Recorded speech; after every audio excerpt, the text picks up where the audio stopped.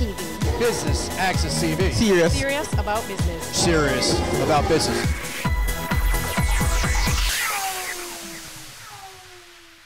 Business Access TV is here at the JSE Core Competences to Excel as a Corporate Secretary. I'm your host, Andrew Laidley. Please stay with us.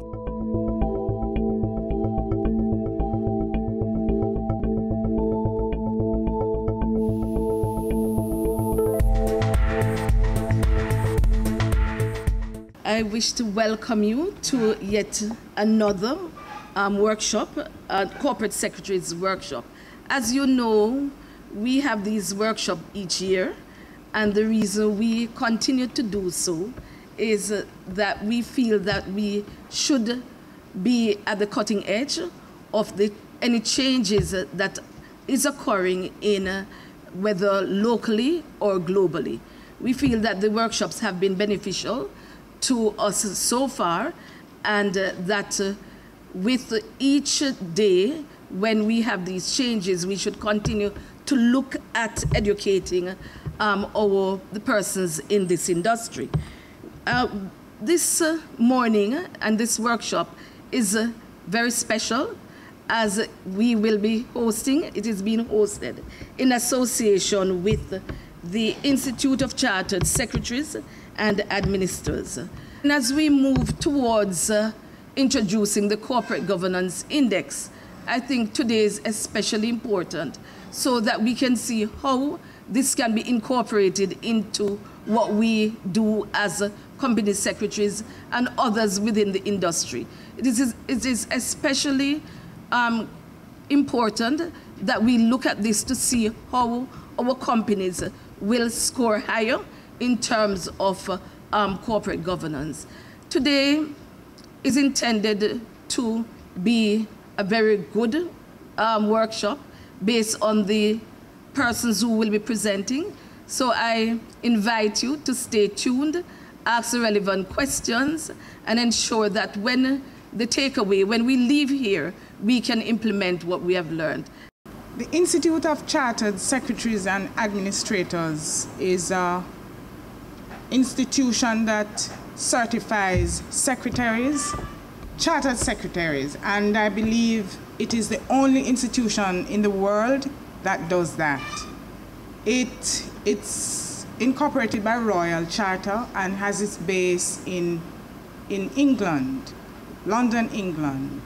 And our dear leader, Simon Osborne, is the CEO of, of the Institute of Chartered Secretaries.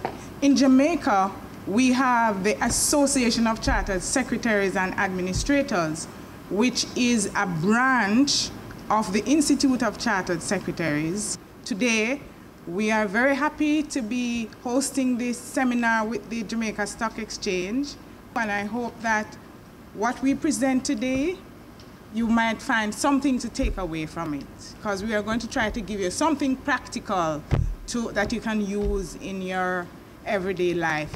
Governance has to suit each jurisdiction. One size cannot fit all. Even within a peer group of companies engaged in similar activities, similar business, because the dynamic is going to be different, because the business conditions are going to be different, the governance framework will necessarily be different. And as you comply or explain, also within a peer group of companies doing the same, broadly the same activity, you will find that they comply in different ways. And that's the beauty of a code of principles. So, what do we mean by governance? The Cadbury definition, the process by which an organization is directed or controlled. The other um, perceived virtue of corporate governance on the part of politicians and policymakers is that it leads to increased opportunities and choice for all. Now, that's one of those wonderful glib expressions that rolls off the tongue of a politician. And it sounds wonderful, doesn't it? But what on earth does it mean? As a political aspiration, it's great. Opportunities and choice for all. Hurrah, yeah, we're all, we're all vote for that. But can we really expect corporate governance to deliver such an overtly political objective? I'll leave that one hanging in the air. poor old Bob Diamond, he gets a bit of a caning over this one. He did actually say that corporate governance is not how you behave when you think no one is watching. He did actually say that. Um, but I think it's a good reminder that, um, you know, the, the, the, there's no try, point trying to do one thing, say one thing and do another. That sort of hypocrisy, you'll get found out eventually. The truth will always out. Governance is concerned with the exercise of power, the role of directors, the responsibilities of shareholders, and how those are balanced. And it also deals with disclosure, transparency, accountability, internal control, and making sure you avoid that concentration of power in too few hands. Hence, the desire, well, the, the I mean, it's now become standard, certainly in the UK. Uh, America's finding it harder, but actually separating the roles of chairman and chief executive so that you achieve a more constructive tension at the top levels in the C-suite. What are some of the governance hot topics? Well, I don't know what it's like here, but remuneration in the UK never ceases to amaze me. I mean, and the way in which non-executive directors serving on remuneration committees aren't smelling the coffee, I just don't get it. But uh, and the United States is just as bad. The the what that is leading to is remuneration which is detached from performance or levels of remuneration detached from performance are, are just leading to increasing inequality of wealth. And I think that could lead to unfortunate consequences socially. Um, and it's something that has to be tackled. Hot topic. Legal risk has risen up the scale of corporate risks. The whole board diversity thing, gender is a major factor. Um, but it, there is no doubt about it, board behaviour improves the more women join the board. Um, and I know that from my own experience, funny enough, in a charity where I was deputy chair and I chaired the nomination committee. And I had to wield the knife. Um, I re removed six older male trustees, brought in four ladies, all of whom were younger. The average age came down. The speed with which business was transacted improved. Shorter board meetings, I'll, I'll drink to that, um, made a difference. Now, that's one example, but I think there's no doubt about it that I think the presence of women in boardrooms adds beneficially to the decision making process. You've got the whole responsible capitalism issue, the managing of stakeholders and accountability to wider stakeholders. And that, interestingly, has led to the appointment of a committee now for a code of governance for private companies. I think that's long overdue in the UK. When you, when you think about the, you know, some of the bigger private companies, and you, you, I'm sure you've got them here, if one of those collapses, the impact on the economy and on the government could be significant. And then the whole question of board evaluations. Following the financial crisis, ICSA did some work on boardroom behaviours. The conclusion of which were four uncomfortable truths. Well-run companies can make strategic and sometimes catastrophic misjudgments. Risk management not properly overseen, monitored or reviewed by the board. Often it was just left to the audit committee. It's actually, it's a board responsibility, There's oversight of risk remuneration and incentivization not aligned with shareholders' interests, and a failure to inform stakeholders, not just shareholders, stakeholders, sufficiently. That work we did identified three areas needing attention. Institutional. Are corporate governance policies and architecture fit for purpose? Has management installed adequate processes and systems? And our directors exhibiting appropriate behaviours. So we had there the institutional, the organisational, and the behavioural. Now, we identified in that work that good, board, good practice boardroom behaviour was characterised by those nine features. So clear understanding of the board's role. The board is there to oversee the management of the business. The board is not there to manage the business non-executive dir directors forget it's a case of noses in, fingers out. They smell the state of the business, they don't finger it.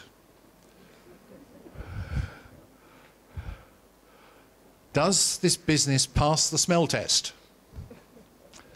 Once the non executive directors start interfering in the management of the business, it's very hard to hold an executive to account. You can't.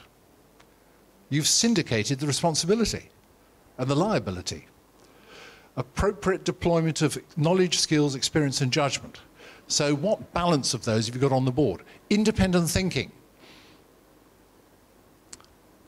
Assumptions and established orthodoxy question need to be questioned. Challenge has to be constructive. If people come onto a board full of suspicion or just trying to show off what a tough guy I am, I'll show these executives up for a load of incompetent idiots. If that's the mentality which a non executive has, they're asking for trouble because it will just lead to tension, in fact, conflict on the board. Non executive directors have to be constructive friends of the management team. Can't overemphasize that. Constructive friends. Yes, and it's knowing how to challenge in a way which doesn't put people's backs up. And it requires a skill, emotional intelligence for a start. Yes, there has to be rigorous debate. The decision making environment has to be supportive. There needs to be a shared vision. And for the chair, it's vital to close each item of business in a timely way, not let it go round and round and round ad nauseam. That's not the way to do it. We go to a short break. More when we return.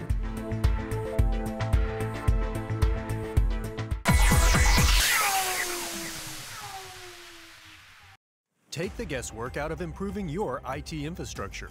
The field of IT changes so quickly that it can be hard to plan a strategy while keeping up with technological advancements. Yet, without a strategic roadmap built on data driven insights, your staff can be overworked, spending excessive time putting out technical fires instead of focusing on strategic tasks that fulfill core business needs.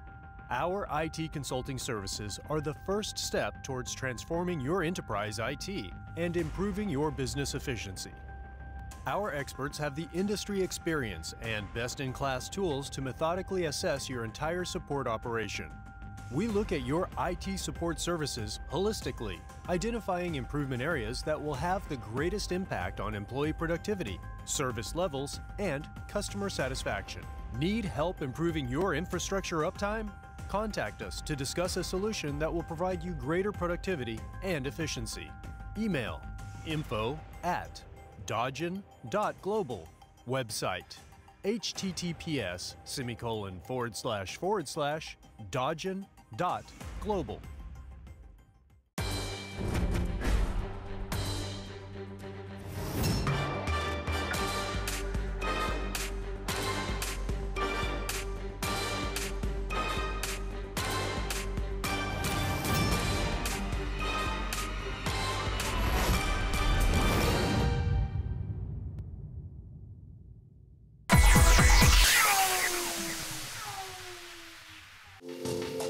Welcome back to BATV's coverage of the JSE core competencies to excel as a corporate secretary. We are now going to have a panel discussion, as you will see, and members of the local chapter will be participating, and Mrs. Henry Pottinger is going to be the moderator, and they're going to be talking about things that happen in a very practical way how rewarding is your job as a company secretary? Any tips that you can also any tips that you can give to budding company secretaries, people who are waiting in the wings to take over your jobs? For me, I enjoy my job. I will not work anywhere else until I retire than with KPMG. Um, as to rewarding, yes, it is rewarding in many respects. I, I like to see that the people who I work with, they are enabled, they are eloquent, they can answer questions from shareholders, they deal with um, matters like that with alacrity. and they're very responsive. It's not glamorous in the sense that if, if the reward you're looking for is your name in lights, it's clearly the wrong profession for you. So I'm, I'm glad that Liz actually said the word enable because you are an enabler, you're a facilitator. You know, um, we all understand, certainly after listening to Simon this morning, the importance of corporate governance. Well, all of that falls on your shoulders for you to administer. You pull it together, you keep all the moving pieces going in unison, and, and you don't, there will be no naming lights, certainly not not where I um, operate for that. So, so if that's what you, so, but, but it can be, obviously it's very rewarding in other ways. Just in terms of tips, I can't stress enough. Well, there are two main things I'll say. One is that um, just you have to have a high level of administrative capability, and whether that, and obviously you can't do it on your own. So whether it means an internal team or going for external support, um, you have to be extremely organized, and you have to make sure that you create a lot of systems which allow you to ensure that you comply with all the requirements that you have, which are numerous. Other than that, I can't stress enough the importance of what we keep calling soft skills, but they're, they're not soft at all because they're critical for the role. Um, definitely, there's a higher level of judgment and diplomacy and management of relationships of people which is involved. Um, you know, we talked a little bit earlier about the relationship between the tension between management and the board, which can sometimes exist. And in that case, your role is critical because you really are the diplomat who has to kind of um, navigate that entire that those two relationships and, and those two different sets of roles within a company. Um, so that th- there's no, I can't stress enough how important it is to make sure that you develop your relationships and that you manage personalities. I recall some years ago I did a document for my chairman. And you know, I went to him and I'm explaining to him what it is that I'm doing and what it is that he needs. He says to me, Where am I sign. So it gives you that level of confidence and trust and to ensure that what you're doing and what you're presenting is correct and you must build up that whole self-integrity so that you know it is not questioned. And i feel that if i have to take something to somebody and they ask me so where is this or what is that? I do my own self-assessment because when i do a document it says where what when why who and so forth. So i ask myself those questions so that you know you can develop that trust when you're working with somebody. The job is really very very interesting. The things that come across your desk are amazing, um, dynamic, invigorating, challenging. Um, scope is very very diverse. Corporate governance has really taken its hold rather on Jamaica and within the Caribbean. There is there is just so much that we have to learn and offer to our clients and to ourselves. Um, certainly, if someone is looking at this as a profession, I think corporate governance is the way to go. That's just me personally. Um, you will always assist and help your clients, you know, but there's always a nuance on what has occurred, what is what should have been done, and how are we're going to correct it. And that's what I love about it. Um, and working with PwC and my team, we just we we we we have just so much to do. And You've got to be very structured, lists, lists, lists, and more lists. You have to be very detail oriented and be able to pick up and very meticulous and be able to pick up errors um, very easily. In my role as a corporate secretary, um, the reward for me is I am constantly learning. Every day there is something that I didn't know or something now that I have to go and know and it is um, no two days are ever the same. It, especially in our company, which we tend to be very entrepreneurial, um, the ideas come, and as a company secretary and as compliance, I have to research to say, can it be done? Can it not be done? Would this be in breach of anything?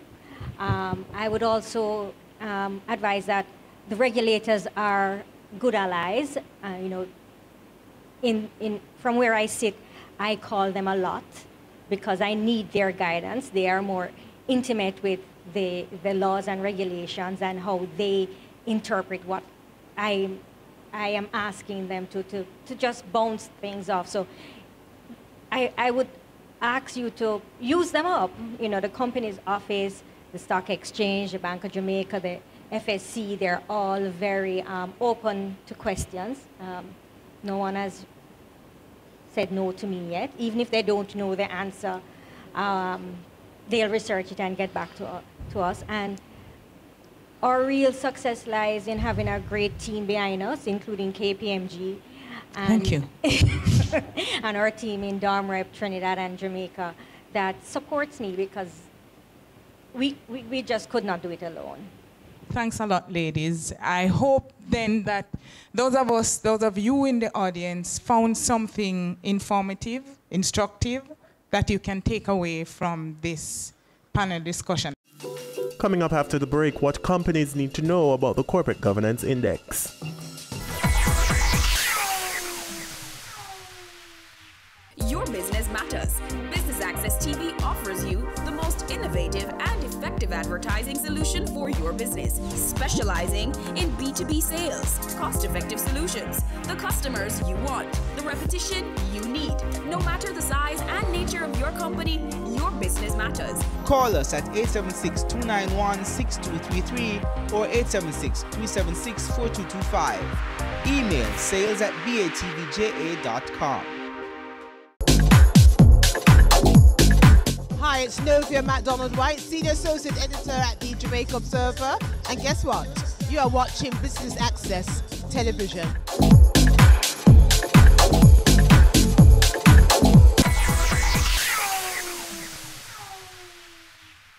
Welcome back to BATV's coverage of the JSE core competencies to excel as a corporate secretary.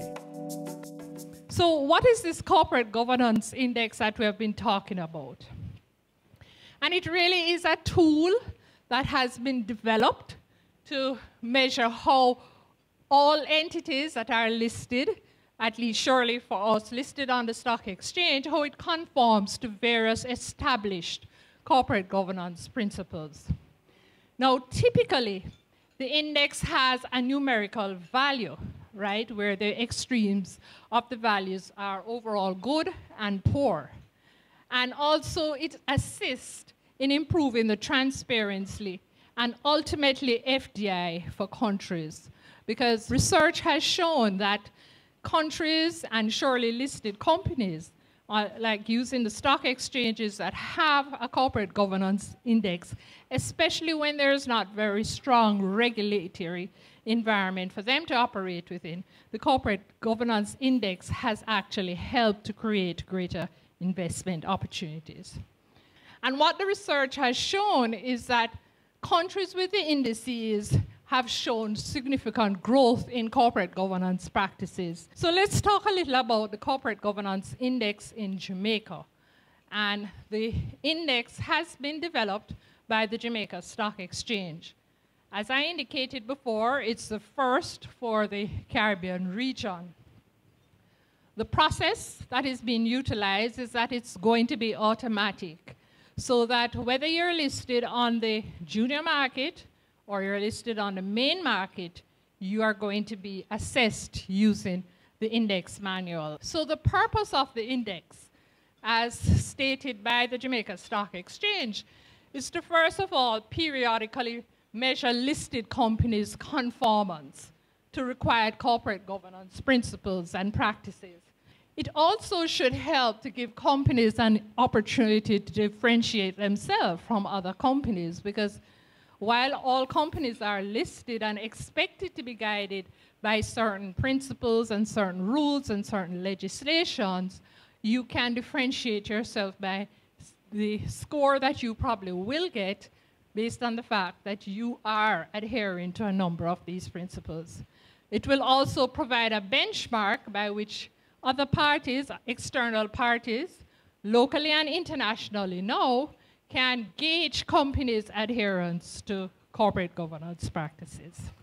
Every year, we have a workshop for the corporate secretary because we realize that they are an integral part of the corporate governance and effectiveness of public listed, publicly listed companies, whether it's on the junior exchange or the big, big board.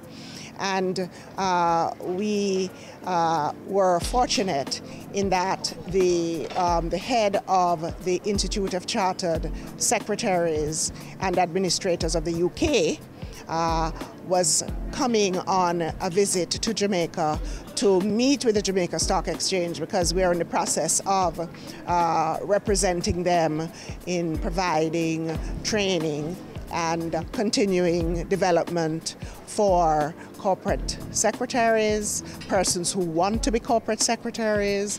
Uh, and as a matter of fact, there is an upcoming fast track that's going to be available for attorneys and chartered accountants who invariably are performing the duties of the chartered secretary and what it will allow them to do is to have the formal chartered secretary designation. So we felt that this was very important to continue to um, lift the profile of the chartered secretary and their role in um, listed companies. I thought the conference was excellent, actually. Um, the seminar was excellent. Um, it touched on very important aspects that are critical for the development of our businesses within Jamaica and internationally, and for our companies, um, concentrating on corporate governance and the coming the amendments that have just occurred in the Companies Act and why corporate governance is so important. So, I encourage everyone to be at the next seminar. The governance is here to stay. There's no doubt about that. Um, and it's the proportionate application of governance principles which is so important in all types of organization. But in order to be able to do that, every organization needs to be clear about its organizational purpose. Then the board, the directors, need to be clear about the key values by which that purpose is going to be delivered. Only then can you devise a governance framework for your particular type of organization? Every organization, however big, however small, needs to do that. Who does corporate governance benefit again? Obviously, it benefits the companies themselves, it benefits their shareholders as the owners, or if it's an unincorporated body, the members. But it also benefits wider society. I think that's, that's the important point. Um, their employees, those with whom they do business, um, it, and ultimately it, it, benefits the government because if an enterprise fails and is employing people uh, and it fails because of poor governance practices, the ultimate responsibility financially was going to fall on the government. For example, in social security payouts for, for unemployed people. Um, I think also if, if companies fail because of uh, poor governance, it reflects, it doesn't reflect well on the country. And for a country that is trying to entice inward investment, um, if the governance framework uh, isn't up to snuff, as we say, um, then you know that will, could have a potentially negative effect. So good governance, it just makes sense. There's plenty of anecdotal evidence too that good governance enhances reputation. It also, for organisations, particularly commercial ones, reduces the cost of capital. It, it just makes sense.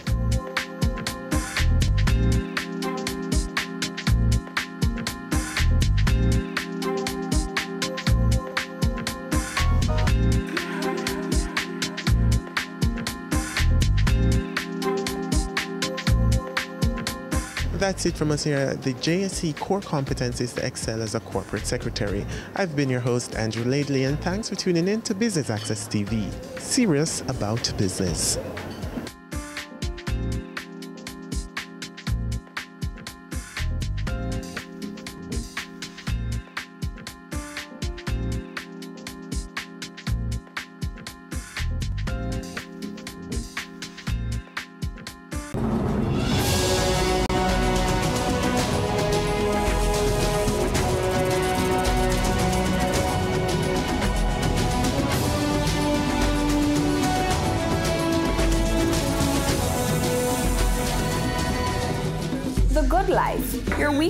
Of information on nutrition, wellness, and fitness. Discover ways to nurture your mind, body, and spirit.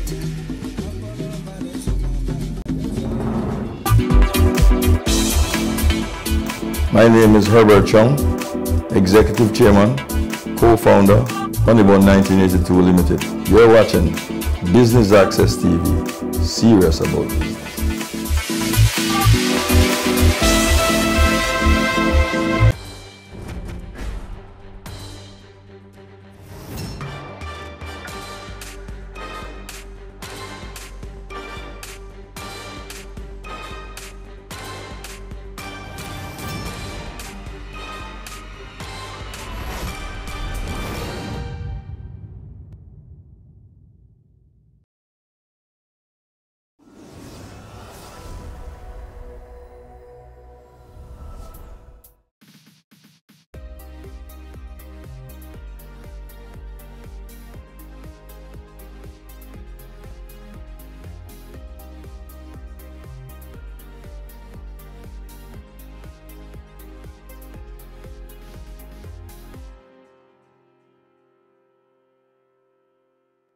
Hi there. I'm so happy you've joined us for another informative edition of Jamaica Magazine. I'm Adrian Atkinson.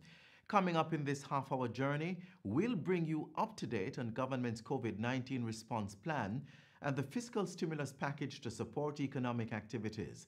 Sit back and relax with these, plus other interesting features that will help you understand how you can cope through this health crisis. Let's take the trip. Government has implemented a nightly curfew island-wide as a means of containing the spread of COVID-19. The duration of the curfew is for a period of seven days, from April 1 to April 8. Movement is restricted between the hours of 8 p.m. and 6 a.m. There will be restriction on public transportation and all movement except for medical staff, um, security forces, essential services, and uh, special provisions will be made for other critical industries. We ask everyone to make the necessary arrangements in their um, daily affairs to ensure that they can be off the road. Person saying that we have imposed stay-at-home orders from 8 p.m. on the 1st until 6 a.m. on the 8th. That means from you going at 8 p.m., you don't come back out until 6 a.m. on the 8th. That's not the case. Each person shall remain indoors during the hours of 8 p.m. to 6 a.m. each day.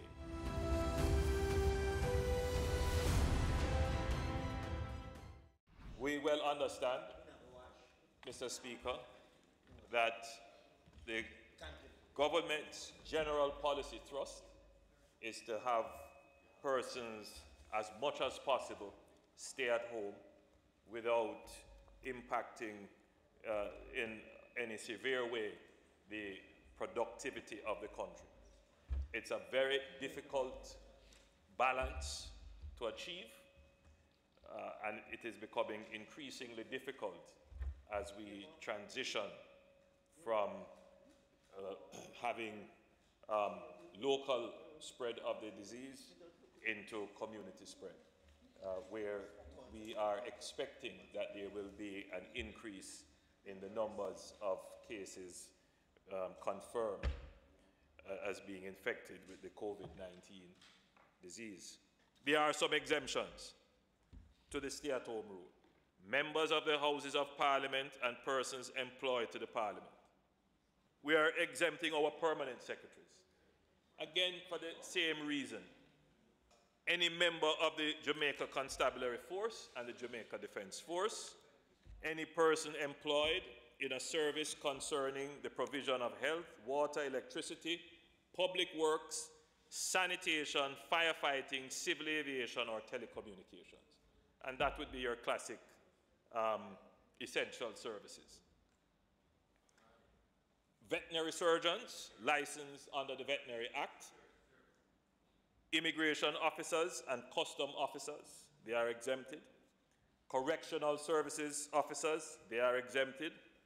Persons employed in the transportation of agricultural produce or livestock or employed in the poultry industry, persons employed in the sugarcane industry, persons employed to tourist establishments as defined by the Public Health Tourism Establishment Regulations 2000. So, of course, Mr. Speaker, we would want to have guests in hotels and staff not being able to come to work to maintain the hotel.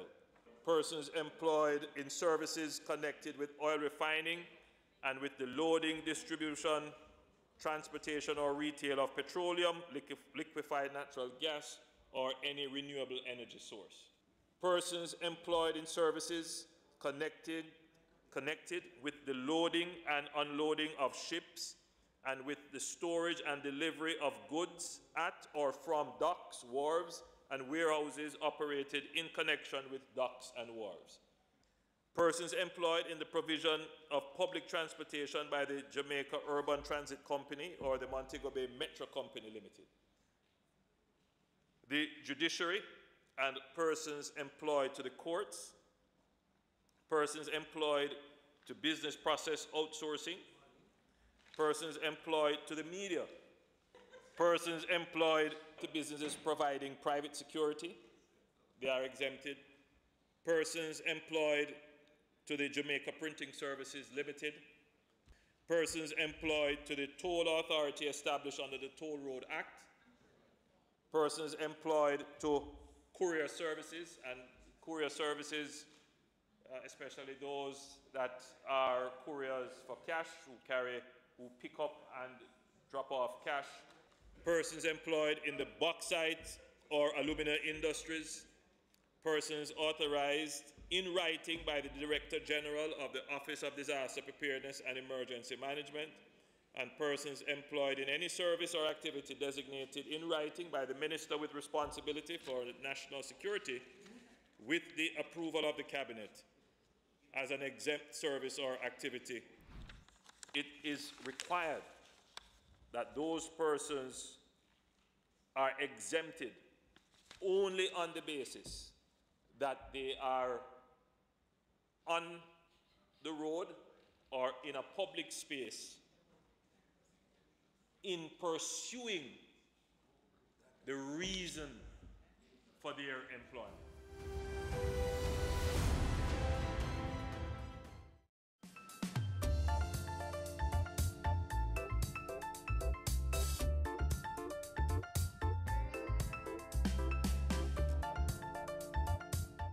Economic activities have been significantly curtailed as a result of the COVID 19 pandemic. To offset the adverse impact, the government is providing a fiscal stimulus to support people's livelihoods. More on that in this next feature.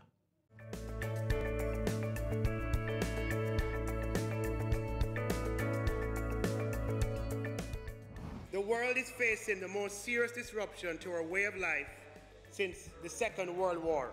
This pandemic is nothing like the world has ever experienced before. We need to be prepared for the worst and be ready for a very significant growth setback. As Minister of Finance, I wish to assure the people of Jamaica, Mr. Speaker, that the government will do all we can to ameliorate the effect of this pandemic and to give us the best chance of a speedy recovery. We will be implementing an unprecedented $25 billion fiscal stimulus consisting of a $15 billion tax reduction or, and tax measures and a $10 billion spending program.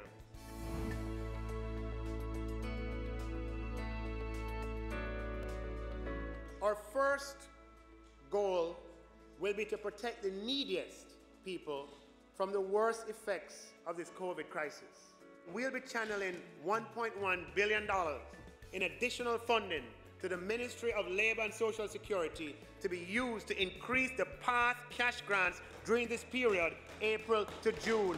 Pension payment for June will be automatically made on the basis of the last life certificate on hand without the need for renewal in April, Mr. Speaker. We will allocate an extra $150 million to the Ministry of Local Government to supplement the poor relief program and their budget in general. We will be reallocating expenditure in the MICAF budget to provide $200 million for relief to small farmers. For loans currently in repayment, the Student Loan Bureau will waive late fees for the period April, May, and June. And the Student Loan Bureau, very importantly, will defer the repayment of all loans, principal and interest, for three months. We care and help is on the way. We introduced the COVID allocation of resources for employees, the CARE program.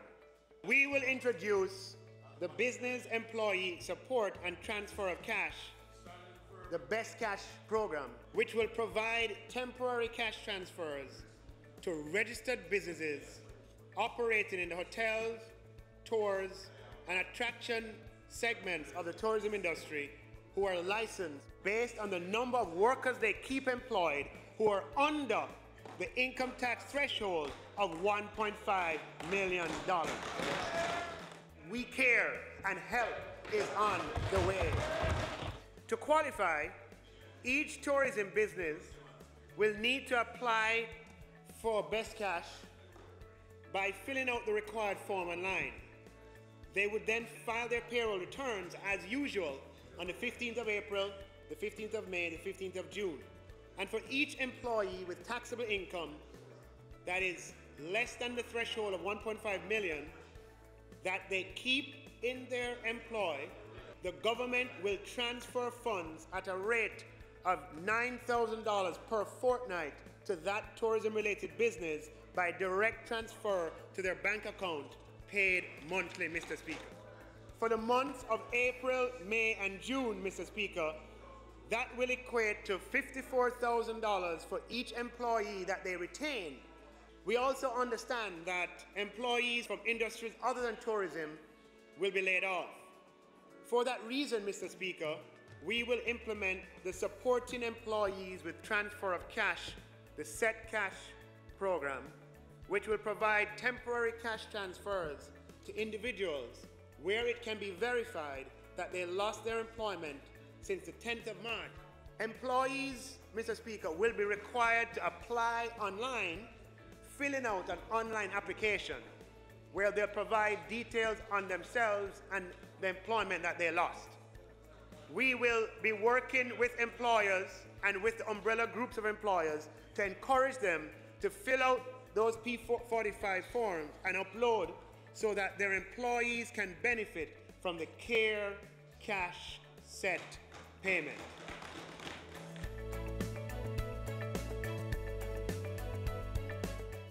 The unfortunate reality is that the employment status of many Jamaicans is informal.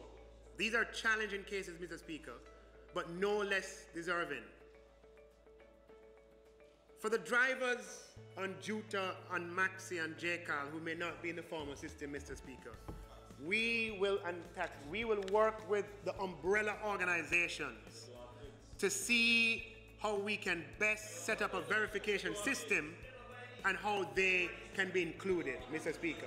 For the craft vendors in the various markets, we will work with those who control the venues from which you operate. And for the market vendors, Mr. Speaker, we will work with the municipal authorities who have registration lists. Apart from these categories I've mentioned, there are others. So, Mr. Speaker, what we will be doing is allocating a further $1 billion in additional funding to the Ministry of Labour and Social Security for them to work on this element of the CARE program, Mr. Speaker. We care and help is on the way.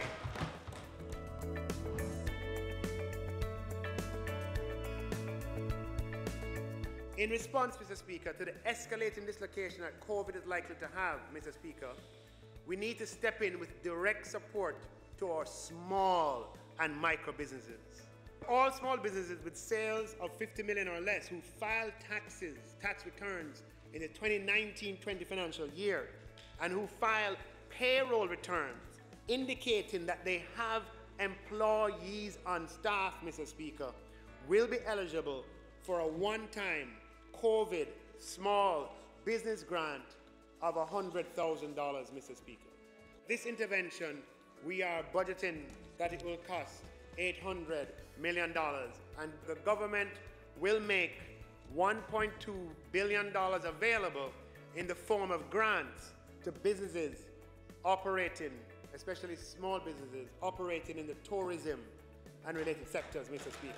Up to the 30th of June, Mr. Speaker, Tax Administration Jamaica will facilitate the issuing of one-off or single-use tax compliance certificates to businesses who may fall into non-compliance. Tax Administration Jamaica will issue no new summonses or initiate any new court proceedings or enforcement actions for non-compliance until after the 30th of June. However, Mr. Speaker, reminders and notices will continue to be generated. We care and help is on the way. This is a test of our economic resilience. And we will eventually come out ahead.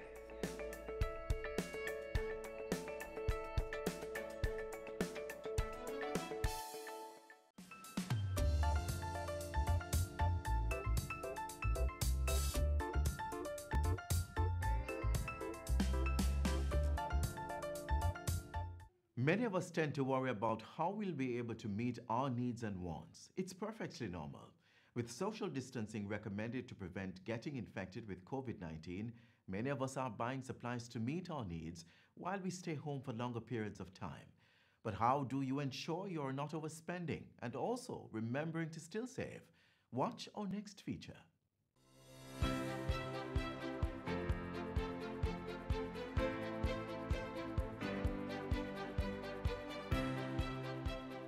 With COVID 19 now in Jamaica, we are being advised to stock up on hygiene supplies that can be used to protect ourselves, as well as to have at least two weeks' supply of food and water in reserve.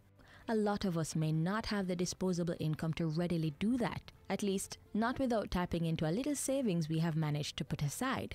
But financial experts will tell you whatever the need, it is important not to deplete our savings, and money management is critically important. But how to do that? First, don't rush to shop or panic shopping, as they put it. Why? Because you may buy things you don't immediately need, leading to wasted spending. Next, I would say assess your home situation. Check how many persons are in the family, if there are babies, toddlers, and persons with special needs. You should then decide on the amount of available money you have to spend. Make a list of the things you need. The experts suggest at least two weeks' supply of basic food items and medication. To help with your shopping list, it's a good idea to work out a meal plan for the period. Next, be disciplined. Try not to divert from this meal plan too much and finish the supply early. This would mean going back to the store to spend more money.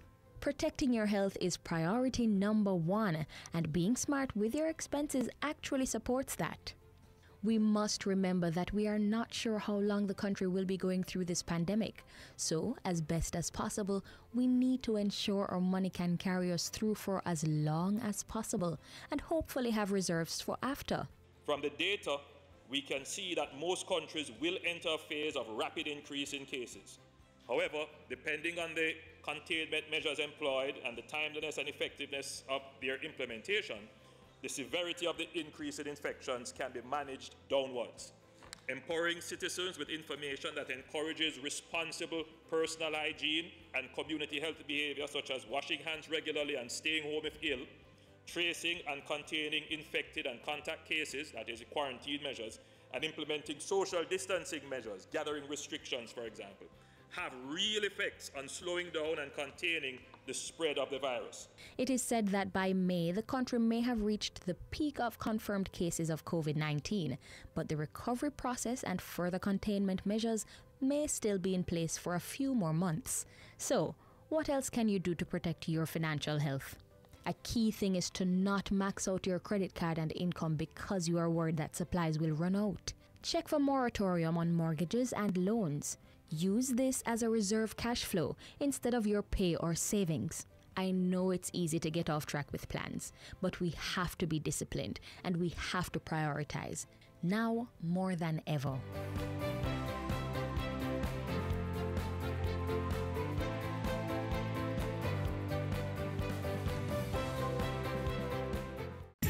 Mosquitoes will breed in containers that hold water. Tightly cover water storage containers such as drums, buckets, and tanks, or cover the water surface with cooking oil. Punch holes in all tins, plastic containers, and boxes to prevent the collection of water before disposal. Cover old tires or fill with dirt. Scrub all vases once per week to remove mosquito eggs and dispose of garbage by placing in plastic bags. Do your part to prevent mosquito breeding. A message from the Ministry of Health.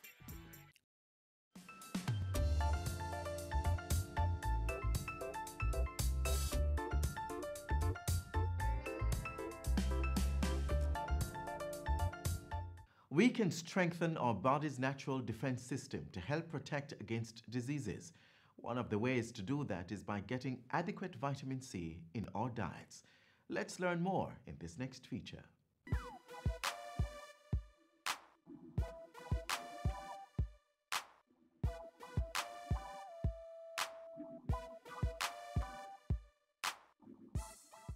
If you're like most kids, you've probably heard at least one parent say, don't forget to take your vitamins, eat your fruits and salads, they're packed with vitamins, and you heed the advice. But do you know why? Do you know what exactly vitamins are?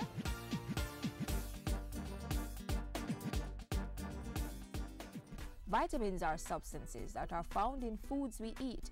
Our body needs them to work properly. Each vitamin has a special role to play. For example, vitamin D in milk helps us develop strong bones and teeth.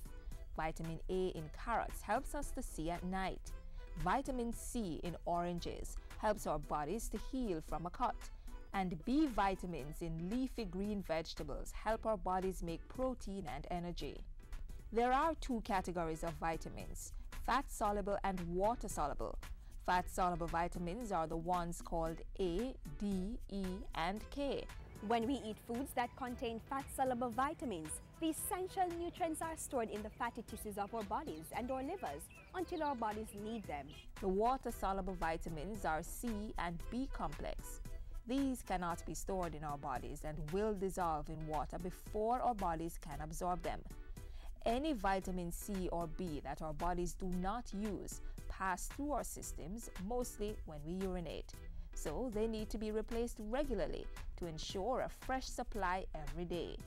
But let's break it down and take a look at one of these vitamins. C. Vitamin C is often referred to as the cold fighting vitamin. It is also known as a wonder worker because it plays an important role in building and maintaining our tissues. Doctors say it can enhance the function of the immune system and plays a role in the formation of important enzymes in the body.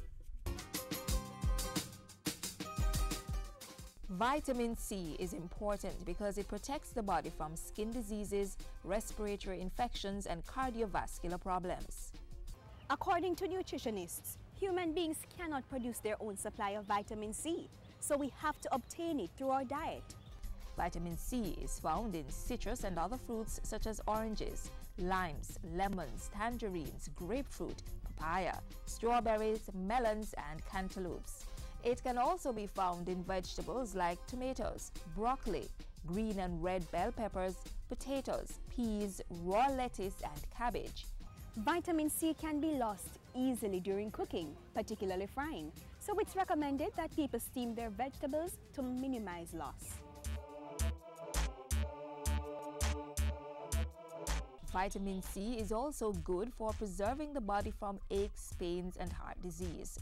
If we do not have enough vitamin C in our systems, it could lead to health complications. Diseases or ailments may include gum bleeding, skin discoloration, lack of energy, tooth decay, poor wound healing, easy bruising, loss of appetite, and pain in the joints.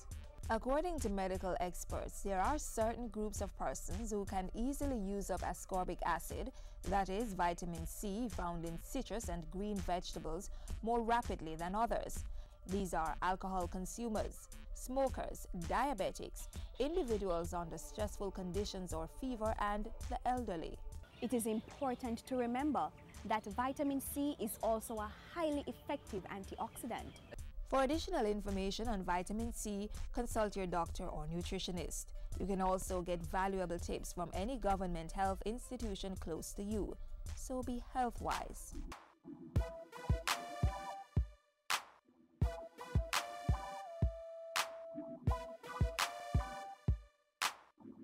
The Ministry of Health and Wellness has repeatedly shared that COVID 19, though a serious disease, is not a death sentence. So it's important that we treat each other with care and respect and follow the information shared by the government to safeguard our individual health and the rest of society. Scientists and doctors globally are learning lessons from the negatives and taking comfort in this positive.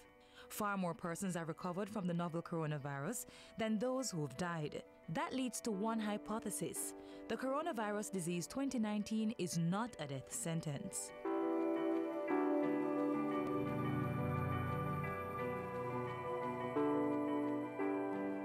Globally, we have heard that thousands of COVID 19 patients have recovered from the virus and a smaller number have died.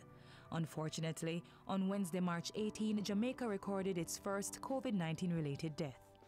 The good news, though, is that a few of the patients confirmed with the virus are showing signs of improvement. The United States Embassy in Kingston has reported that patient 2, an employee of the organization, is recovering well.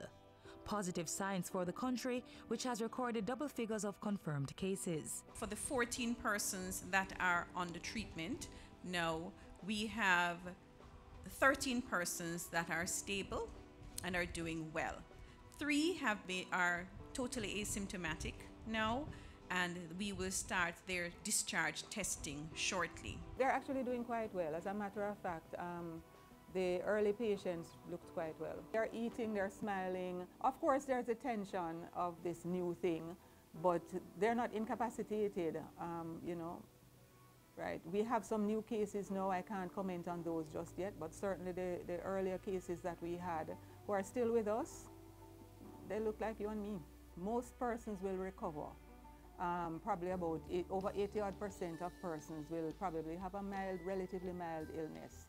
But there are persons that, you know, for whatever reason, who will get a more serious infection. So persons over 60 tend to have um, a worse outcome and persons with what we call comorbid factors, so persons who are hypertensive or diabetic or even asthmatic tend to have a worse outcome, but that doesn't mean that everybody who has that um, will, you know, die. It cannot be overstated. COVID-19 is the name that they have finally decided on for the name of the disease.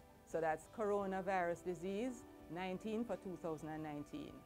And the, the name of the virus that is causing that is now named SARS-CoV-2. So it's that new that persons had to deliberate for a while to say, what are we going to call this new virus?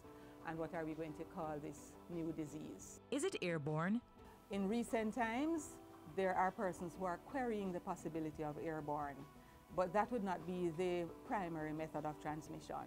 It's just that we should now begin to think that it could be airborne. Just to recap, remember, contracted COVID 19 is not a death sentence.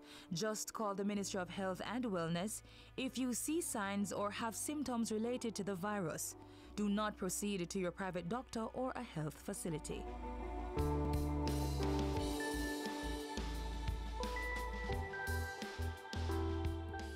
We've come to the end of our half hour journey. Be sure to join us again tomorrow for another informative edition of Jamaica Magazine. Until then, continue to watch these and other programs by logging on to our website, jis.gov.jm, or subscribing to our YouTube channel. You may also find us on all the major social media platforms and through our mobile app that's Android and iOS compatible. On behalf of the entire team here at the JIS, I'm Adrian Atkinson urging you to practice proper hygiene and social distancing so that we can all get to the end of this COVID 19 pandemic in good health. Do take care.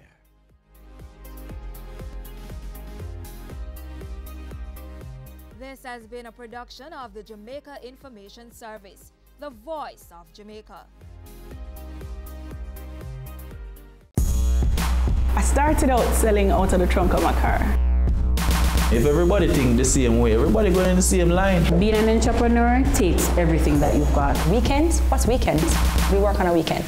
There are real opportunities everywhere you look. But you have to have the passion. If I do my part well, then everything is okay. We believed in ourselves and our families believed in us. Being convinced of this great opportunity, why we are all here doing what we're doing now.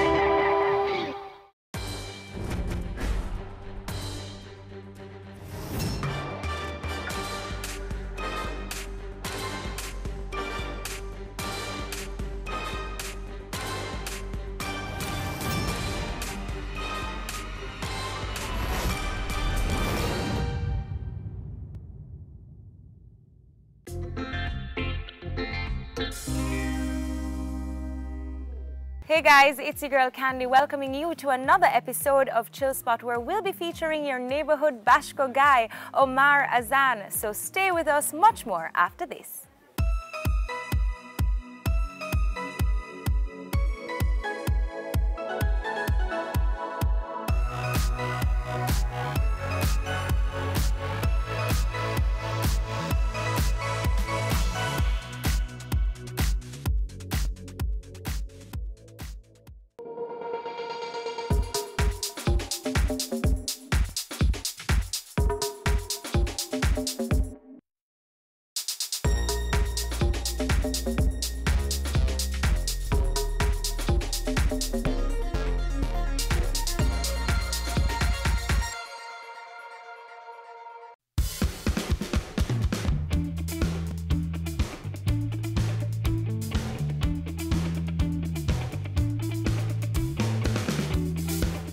Guys, so we've just arrived at Omar's family residence where we're about to head inside to meet everyone. But before we do, here are a few quick facts about Omar Azan. Firstly, he is the marketing and public relations manager at Bashco, the store that gives you more. He's also a musician. He plays the trumpet, percussion, and he also sings. Thirdly, he was born and raised in Barbados. So with no further ado, let's meet Omar Azan.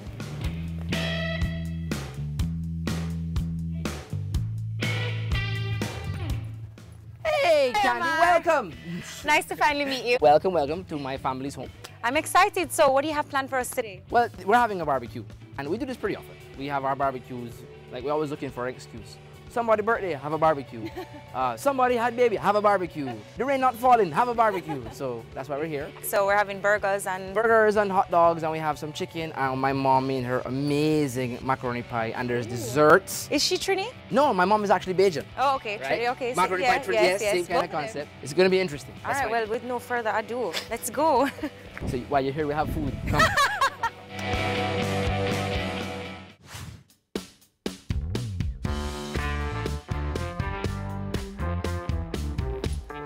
Hello.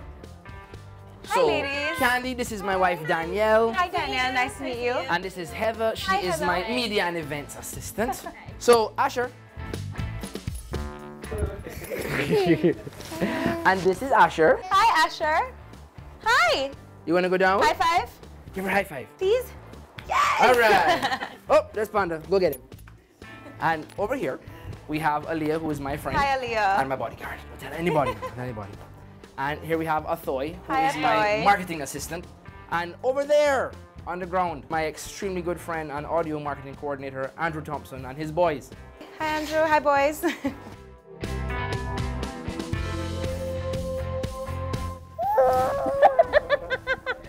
Daddy time. Daddy time. Coming up, how would you encourage other young professionals who are starting out in this industry or even otherwise? You're not going to like my answer, you know. I'm 36.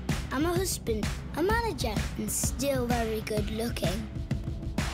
In two hours, I have the most important meeting of my life. But first, it's time to play.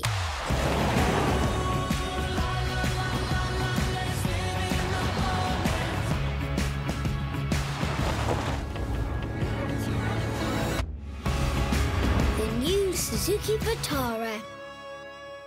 Dodgen Global offers a CPA scholarship program to team members who join our team. A career in accountancy at Dodgen Global is a great choice and can offer you excellent job prospects. We believe that an accounting education is the greatest gift you can give yourself or anyone else. Few gifts make as significant an impact as the gift of an accountancy education with a job.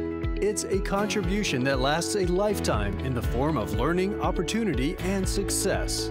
Join our team and get the opportunity to be part of our CPA Scholarship Program.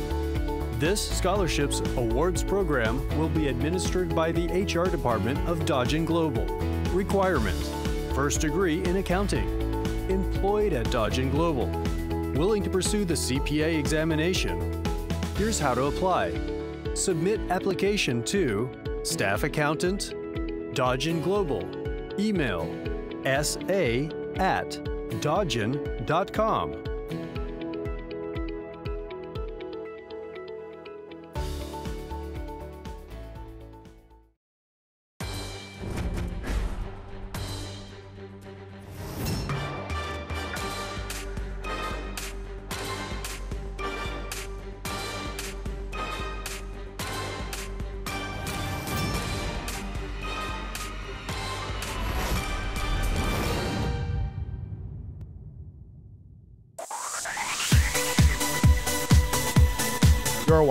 Business Access TV. Business Access. Business Access. Business Access. Business Access. You are watching Business Access TV. Business Access TV. Serious. Serious about business. Serious about business.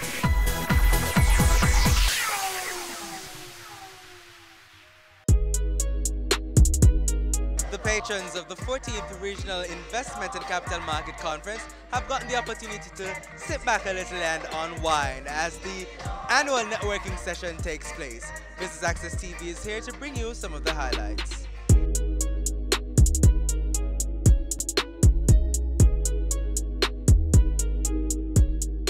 I just want to take this time out to introduce our managing director, Mrs. Street Forest, the lovely. She's going to come forward and give us just a few words on what has been happening and of course to continue to, you know, tell us that we need to enjoy ourselves tonight because yes, we're talking business, we're talking about investment, we're talking about building a better nation, a better region, a better world. But Mrs. Street Forest, please come and grace this, the, the microphone. Thank you, ma'am. Looking lovely as usual. Thank you. Good evening, everyone. Um, I, l- let me extend a warm welcome to you again um, at this function. I am really going to be very short because what I want to really do is to thank you all for coming out. Thank you for supporting us for the last 14 years. There are persons here who are new to the event, some who have been with us for the last 14 years. I cannot stop by um, I have to continue to thank our sponsors, our participants, and all the persons who have made this possible for us. Uh, as uh, the evening wears on, I just want you to enjoy yourself, let your hair down, and uh, ensure that we do what we need to do in terms of networking, meeting new people from all, I'm going to say, all over the globe, and, and just enjoy yourself. Thank you.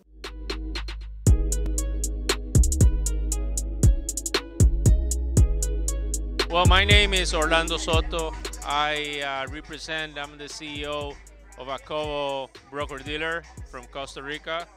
Uh, we're looking to list a mutual fund, real estate, in the Jamaican Stock Exchange. Uh, this is my first time at this event. I really congratulate you guys for the 15th anniversary and also for the spirit uh, that the event has over people, over um, companies uh, that wanted to be listed on the exchange, and um, in general to the CEO. Uh, she's wonderful. I think you have a um, a gold mine in in Jamaica, and um, for many years to come, and good progress to Jamaican companies. So, separate and apart from the Jamaican market being the best stock market in the world, what led you to thinking about listing in Jamaica? Well, besides that, uh, Jamaican uh, uh, broker dealers uh, good partnerships with them. Uh, they're good people, uh, very sophisticated. I found uh, very good partners. Uh, very interesting market, not only because of the market, but also because of the people.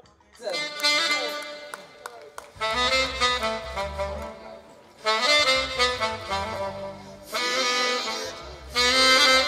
you.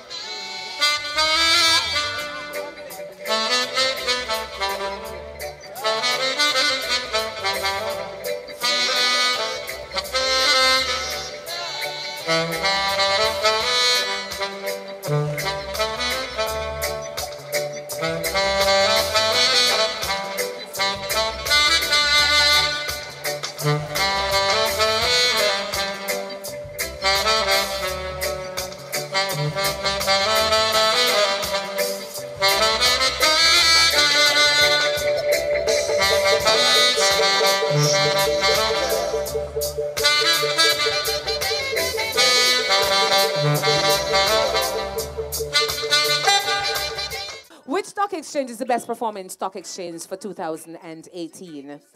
Jamaica Stock Exchange. Is she correct? Oh my goodness, you are correct. We have to thank every single member of the stock exchange because we could not do it without you. Thanks for being the thanks for being the best performing stock exchange in the world. So how was 2018 for your business?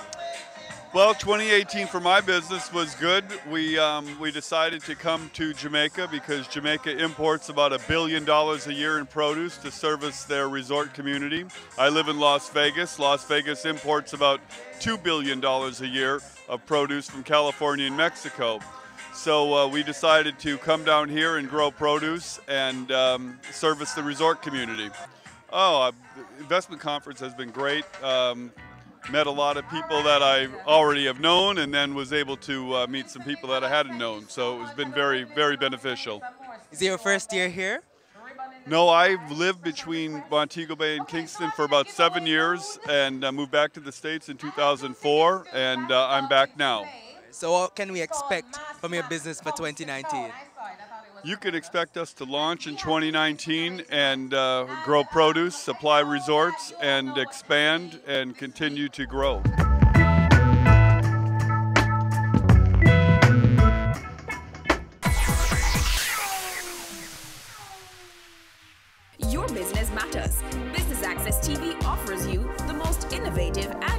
Effective advertising solution for your business, specializing in B2B sales, cost effective solutions, the customers you want, the repetition you need. No matter the size and nature of your company, your business matters. Call us at 876 291 6233 or 876 376 4225.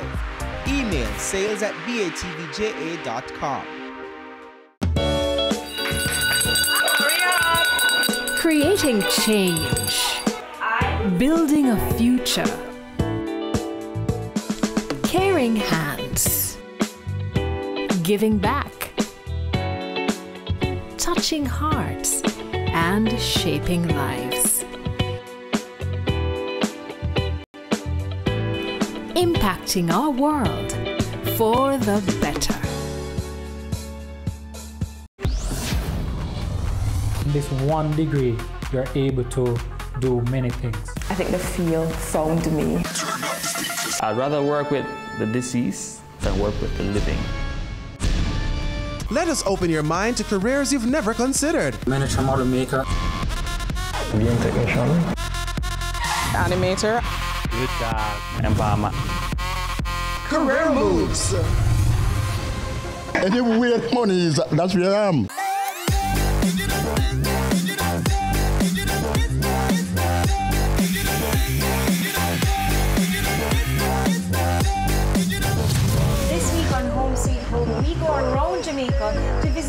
Of our most historical homes, each with their own little story. Our first stop, let's find out.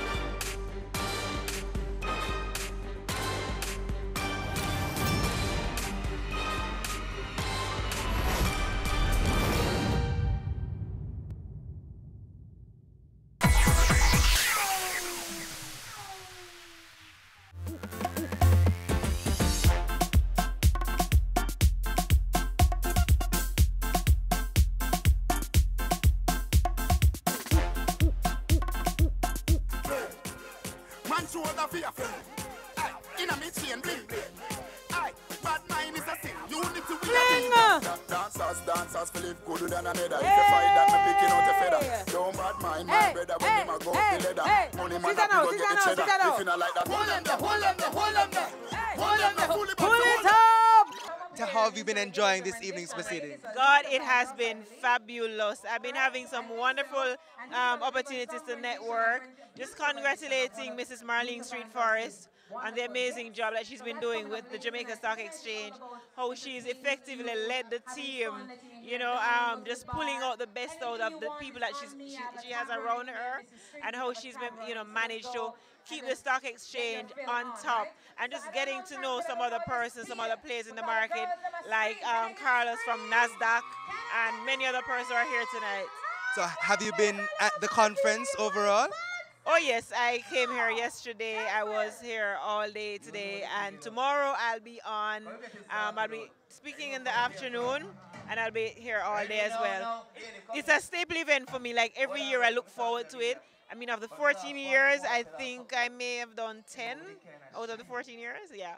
So you can basically say that this is certainly something that you have done in your calendar for every year. Oh, absolutely, definitely. It has to be. Like it's one of those events that get you started for the year. And you know, you get to meet some of the people that will you will need to help you to win all the plans that you have. So you identify all the persons who are there and say, yeah, you know what? Let's let's partner, let's connect. So yeah. Do you have a business? Oh yes. So my original business is Pato Apparel, but I have formed out um, since then the Entrepreneurial You, which is a leadership and entrepreneurial brand. So we have a podcast, the Entrepreneurial You podcast, where I interview people like Seth Godin, Richard Branson, and so much more. And then there's Leadercast, um, Leadercast Kingston, Leadercast Women, and Leadercast Kingston is happening May 10 this year. So look out for it.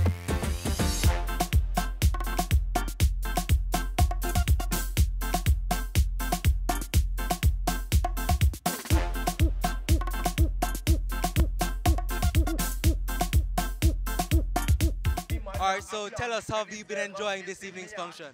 It has been absolutely amazing. The vibe is nice, the food is good, and just to be at a function where it's rigorous, it's talking about figures all day, but just to let your hair down and just enjoy yourself and interact with the visitors from all over the world that's here to experience the stock exchange function this year.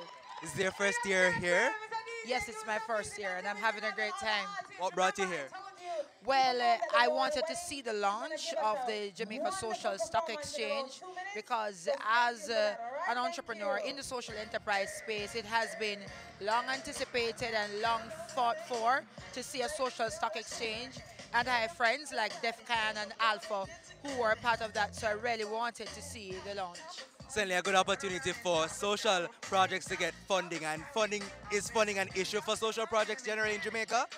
Absolutely. Well, first of all, I just wanted to note that in terms of the understanding of what social enterprise is, there has been a lacking because social enterprise, they don't only serve a social cause, but they're also enterprising as the term says. So they make their own money and when funds are invested in social enterprises, it's to make further social inter- um, impact and to find other ways to be enterprising and make more money. So um, I'm, it's, it's amazing that Jamaica has woken up and have smelled the coffee because there are social stock exchanges in, in other parts of the world. And I think with this focus, then we can look at being number one one more year. So just like 2015 and now 2018. And now we're looking at social value. So I think we have woken up, we have smelled the coffee, and the best is yet to come for the Jamaica Stock Exchange.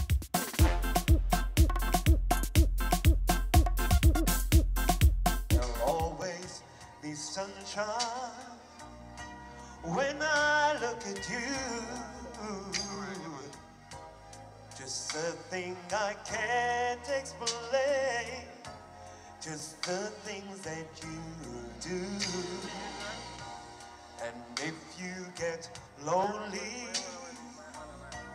just call me and take a second to give to me that magic you make.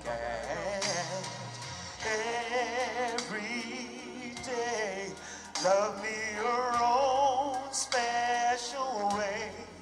Melt all my heart away with a smile.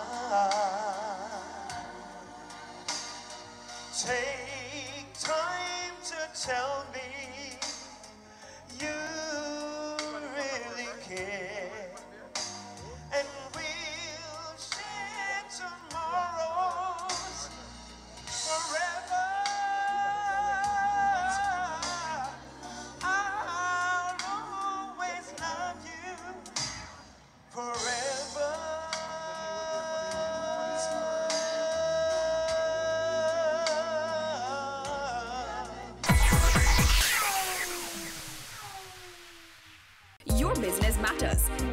Access TV offers you the most innovative and effective advertising solution for your business, specializing in B2B sales, cost effective solutions, the customers you want, the repetition you need. No matter the size and nature of your company, your business matters. Call us at 876-291-6233 or 876-376-4225. Email sales at batvja.com.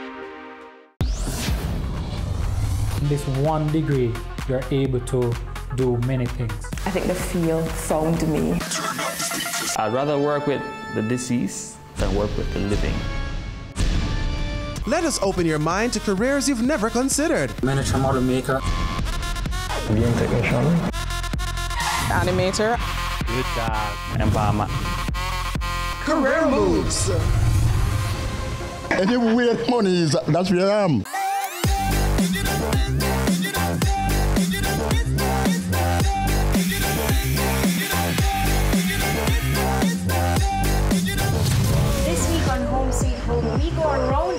To visit a few of our most historical homes, each with their own little story. Our first stop, let's find out.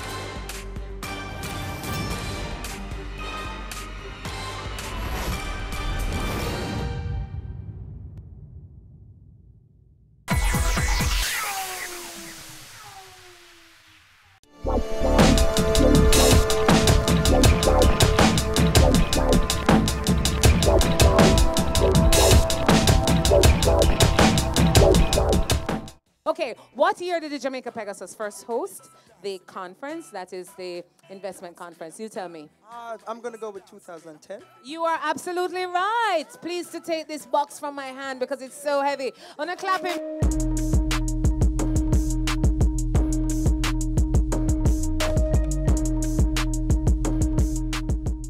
Also with me is a good friend of mine, Camario Davis. How are you, sir? I am good. How's it going? It's been going well for me, but how's it been going for you? You're enjoying this evening's function? Ah, I am. It's really good. You know, anything Jamaican is always enjoyable. I just said um, it's really enjoyable. I mean, really enjoy myself tonight. What does Jamaica being the best stock market mean to you? Um, it, it means investment. It means more money in pocket for me. It means more money in pocket for the Jamaican people. But as a young person, though, are young? Do you think young people generally should be concerned about stocks and stock market performance, that kind of thing? Is that important? I, I, in all honesty, I do think that they need to play a part in, in, in stock exchange um, because it is highly important as it relates to you creating a job for yourself. So generating income as a young person is very important.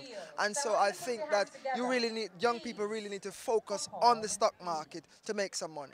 Especially being that the youth unemployment rate is, though it's trending downward, it's still particularly high. So it's something that you you think they should definitely look into, correct? Most definitely, most definitely. Um, we, we, we always want to venture into the traditional careers. Um, we want to be doctors, lawyers, teachers, whatever the all. But we need to start thinking about how to create um, employment for ourselves. Why not invest on the stock market? Why not invest into Walmart? Why not invest in um, Jamaica Broilers, you know, um, Sagicor? Whatever it is that you feel you need to invest interesting. It's a really good opportunity and I think young people of Jamaica need to start focusing there.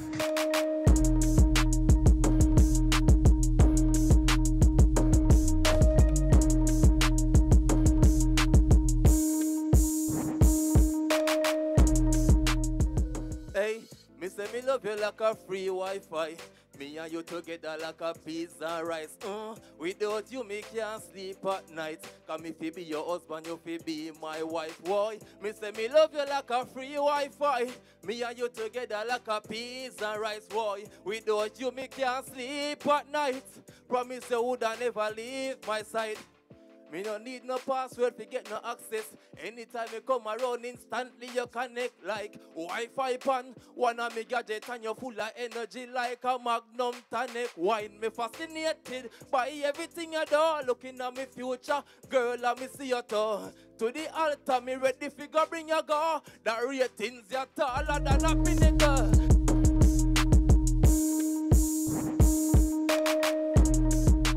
So, Mrs. Street Forest, 14 years of celebration of knowledge exchange. How has it been for you this year? It has been fantastic. You recognize that it has been really wonderful with the participants, the sponsors, and really those persons who have presented. We've had all the prime ministers of Barbados, prime ministers of Jamaica, past prime ministers, and they have given us quite a bit to think about.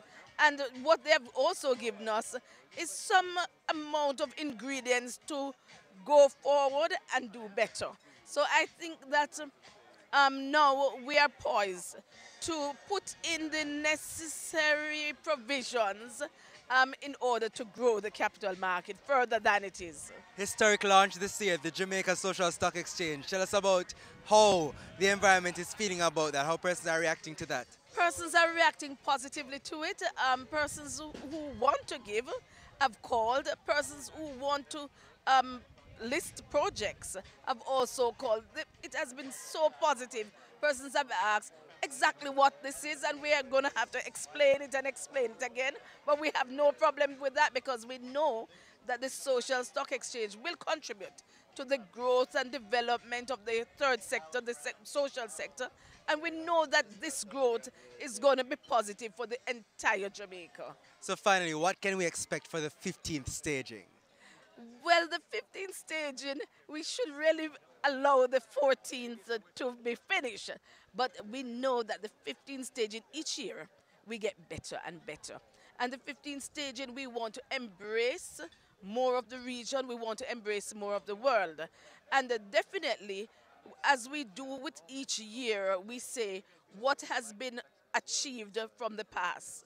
And uh, naturally, um, for the 15th staging, we will want to report back to you to say, look, we have gained and garnered this amount of funds for the social exchange, and this is what it has done for Jamaica. So we want to report back to you the success that we have had for the 14th. Certainly looking forward to it, and we hope that then Jamaica will still be the top stock exchange in the world. Thank you so much, Mrs. Street Forest. You're most welcome.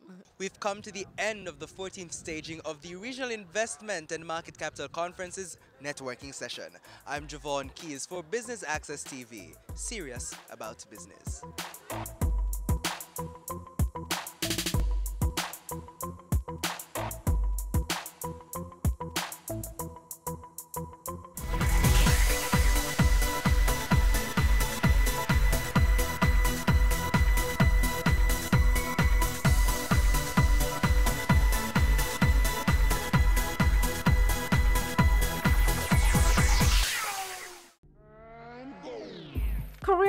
Has always explored interesting careers, highlighting all you may not have known about them. This season is no different. Coming back to Jamaica, everyone's like, Fizzy what? Fizzy who? When you find a bright boy or girl in the class and people say, what are you going to be? The parents say, you have to go be a doctor, you have to go be a lawyer. Nobody says you have to go be a politician. Let me see your hands!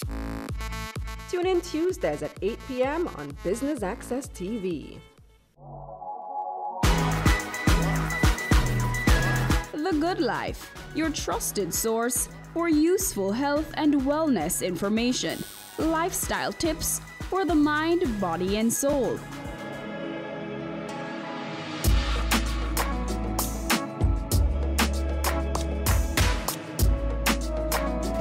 Tune in Tuesdays at 8:30 p.m. on Business Access TV.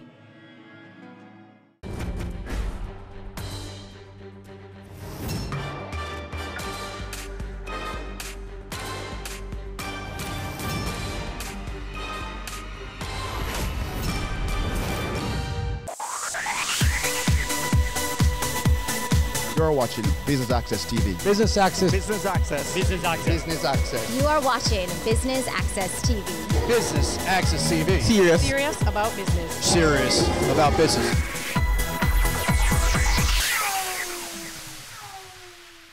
Business Access TV is here at the JSE Core Competencies to Excel as a Corporate Secretary. I'm your host, Andrew Laidley. Please stay with us.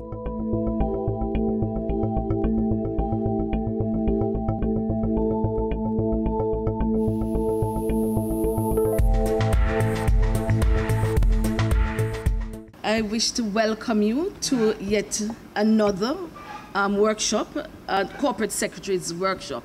As you know, we have these workshops each year, and the reason we continue to do so is that we feel that we should be at the cutting edge of the, any changes that is occurring in uh, whether locally or globally. We feel that the workshops have been beneficial to us so far, and uh, that uh, with each day when we have these changes, we should continue to look at educating um, our the persons in this industry. Uh, this uh, morning and this workshop is uh, very special as we will be hosting, it is being hosted in association with the Institute of Chartered Secretaries and Administrators. And as we move towards uh, introducing the Corporate Governance Index, I think today is especially important so that we can see how this can be incorporated into what we do as company secretaries and others within the industry. It is, it is especially um, important that we look at this to see how our companies will score higher in terms of uh, um, corporate governance. Today is intended to be a very good um, workshop based on the persons who will be presenting. So I invite you to stay tuned, ask the relevant questions, and ensure that when the takeaway, when we leave here, we can implement what we have learned. The Institute of Chartered Secretaries and Administrators is a institution that certifies secretaries, chartered secretaries, and I believe it is the only institution in the world that does that. It, it's incorporated by Royal Charter and has its base in, in England, London, England. And our dear leader, Simon Osborne, is the CEO of, of the Institute of Chartered Secretaries.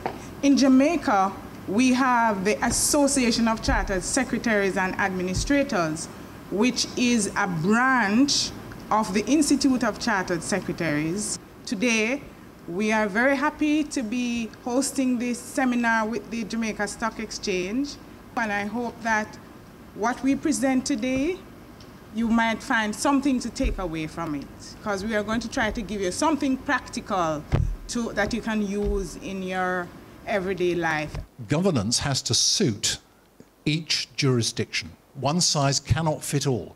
Even within a peer group of companies engaged in similar activities, similar business, because the dynamic is going to be different, because the business conditions are going to be different, the governance framework will necessarily be different. And as you comply or explain,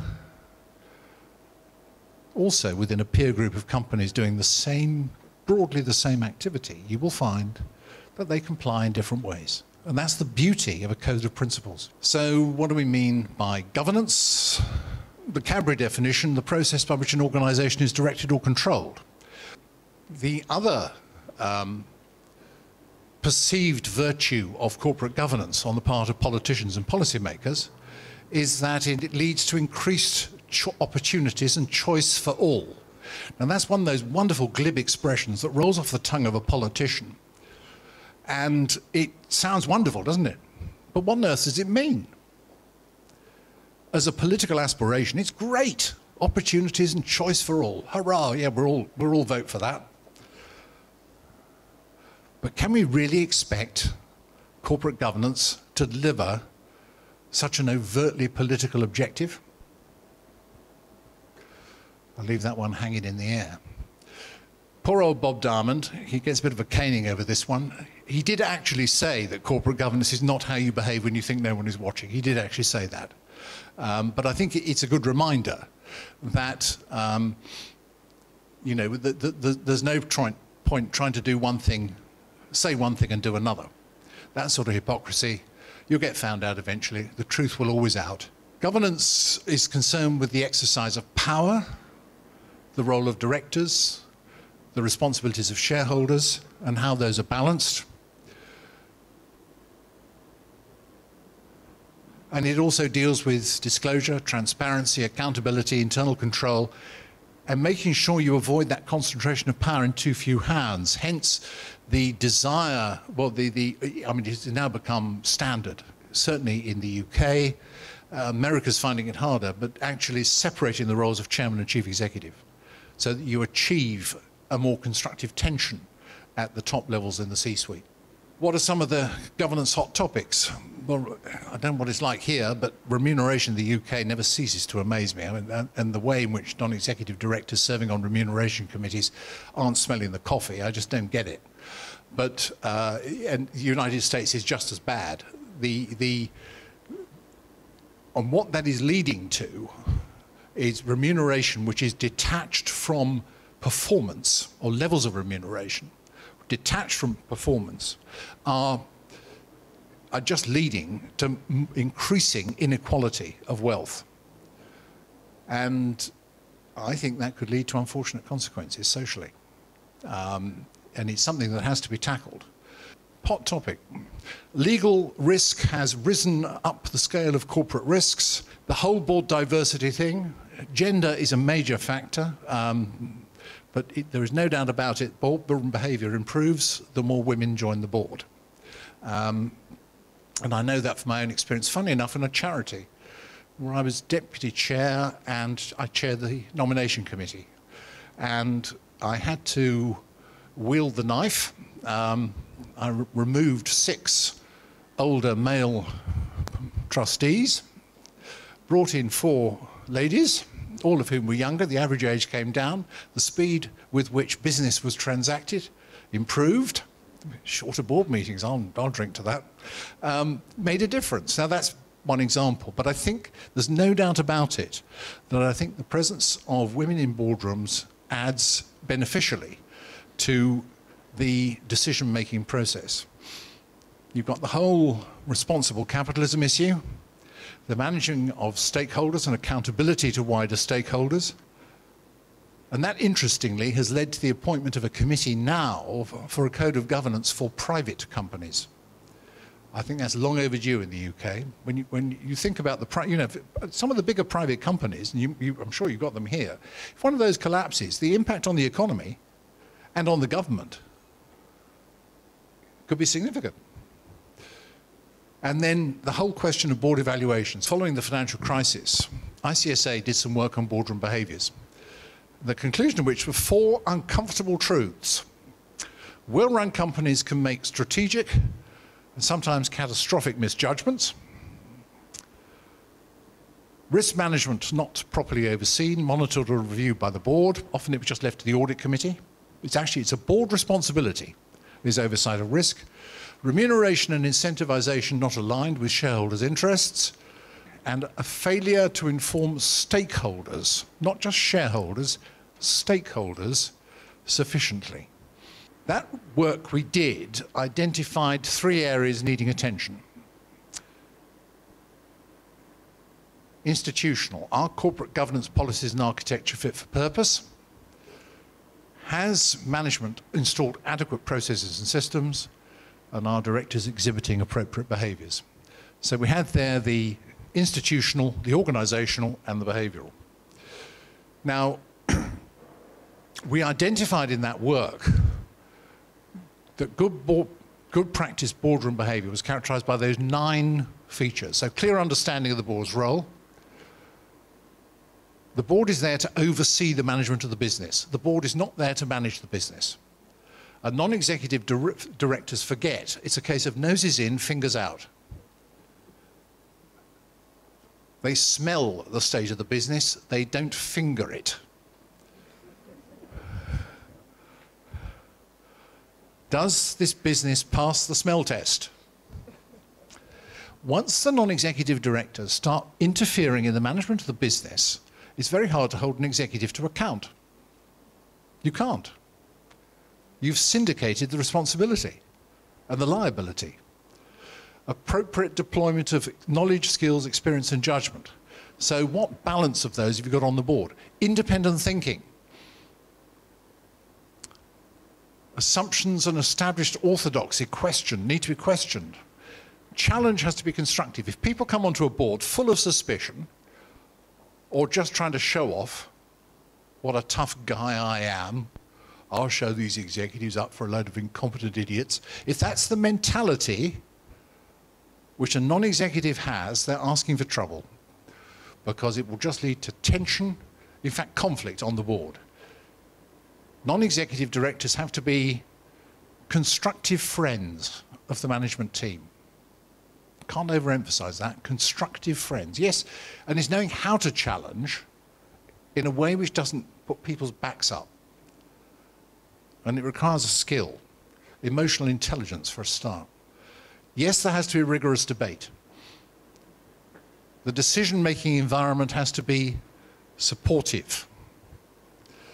There needs to be a shared vision. And for the chair, it's vital to close each item of business in a timely way, not let it go round and round and round ad nauseam. That's not the way to do it.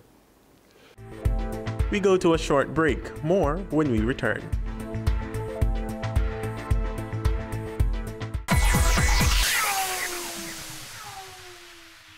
Your business matters.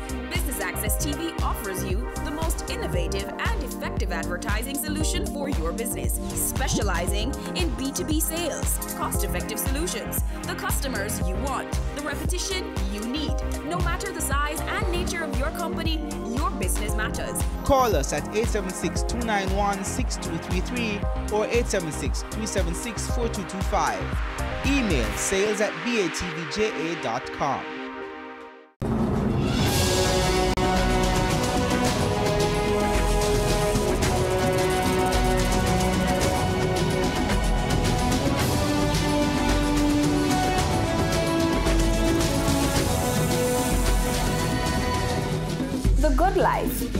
Life, your weekly dose of information on nutrition, wellness, and fitness. Discover ways to nurture your mind, body, and spirit.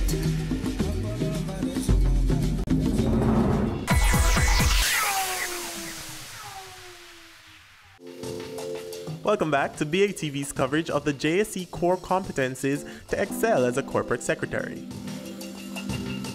We are now going to have a panel discussion, as you will see, and members of the local chapter will be participating, and uh, Mrs. Henry Pottinger is going to be the moderator, and they're going to be talking about things that happen in a very practical way. How rewarding is your job as a company secretary?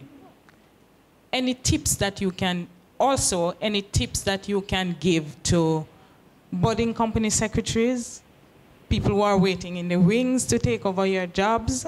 For me, I enjoy my job. I will not work anywhere else until I retire than with KPMG. Um, as to rewarding, yes, it is rewarding in many respects. I, I like to see that the people who I work with, they are enabled, they are eloquent, they can answer questions from shareholders, they deal with um, matters like that with alacrity, and they are very responsive. It's not glamorous in the sense that if, if the reward you're looking for is your name in lights, it's clearly the wrong profession for you. So I'm, I'm glad that Liz actually said the word enable because you are an ena- enabler, you're a facilitator. You know, um, we all understand, certainly after listening to Simon this morning, the importance of corporate governance. Well, all of that falls on your shoulders for you to administer. You pull it together, you keep all the moving pieces going in unison, and, and you don't, there will be no name in lights, certainly not not where I um, operate for that. So, so if that's what you, so, but, but it can be, obviously it's very rewarding in other ways. Just in terms of tips, I can't stress enough, well, there are two main things I'll say. One is that um, just you have to have a high level of administrative capability. And whether that and obviously you can't do it on your own. So whether it means an internal team or going for external support um, you have to be extremely organized. And you have to make sure that you create a lot of systems which allow you to ensure that you comply with all the requirements that you have, which are numerous. Other than that, I can't stress enough the importance of what we keep calling soft skills, but they're, they're not soft at all because they're critical for the role. Um, definitely, it's, there's a higher level of judgment and diplomacy and management of relationships of people which is involved. Um, you know, we talked a little bit earlier about the relationship between the tension between management and the board, which can sometimes exist. And in that case, your role is critical because you really are the diplomat who has to kind of um, navigate that entire that those two relationships and, and those two different sets of roles within a company. Um, so that th- there's no, I can't stress enough how important it is to make sure that you develop your relationships and that you manage personalities. I recall some years ago I did a document for my chairman. And you know, I went to him and I'm explaining to him what it is that I'm doing and what it is that he needs. He says to me, Where am I sign. So it gives you that level of confidence and trust and to ensure that what you're doing and what you're presenting is correct and you must build up that whole self-integrity so that you know it is not questioned. And i feel that if i have to take something to somebody and they ask me so where is this or what is that? I do my own self-assessment because when i do a document it says where what when why who and so forth. So i ask myself those questions so that you know you can develop that trust when you're working with somebody. The job is really very, very interesting. The things that come across your desk are amazing, um, dynamic, invigorating, challenging. Um, scope is very, very diverse. Corporate governance has really taken its hold, rather, on Jamaica and within the Caribbean. There is, there is just so much that we have to learn and offer to our clients and to ourselves. Um, certainly, if someone is looking at this as a profession, I think corporate governance is the way to go. That's just me personally. Um, you will always assist and help your clients, you know, but there's always a nuance on what has occurred, what is what should have been done, and how are we're going to correct it. And that's what I love about it. Um, and working with PwC and my team, we just we we we we have just so much to do. And You've got to be very structured, lists, lists, lists, and more lists. You have to be very detail oriented and be able to pick up and very meticulous and be able to pick up errors um, very easily. In my role as a corporate secretary, um, the reward for me is I am constantly learning. Every day there is something that I didn't know or something now that I have to go and know and it is um, no two days are ever the same. It, especially in our company, which we tend to be very entrepreneurial, um, the ideas come, and as a company secretary and as compliance, I have to research to say, can it be done? Can it not be done? Would this be in breach of anything?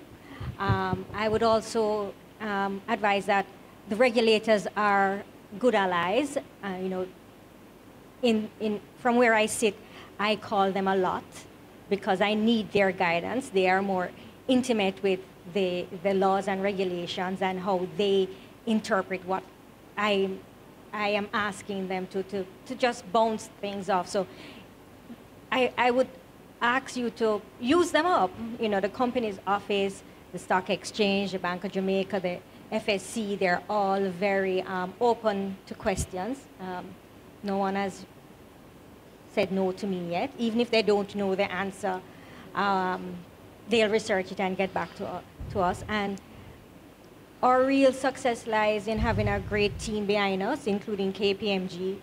And, Thank you. and our team in Dom Trinidad and Jamaica that supports me because we, we, we just could not do it alone. Thanks a lot, ladies. I hope then that those of us, those of you in the audience, found something informative, instructive, that you can take away from this panel discussion. Coming up after the break, what companies need to know about the Corporate Governance Index.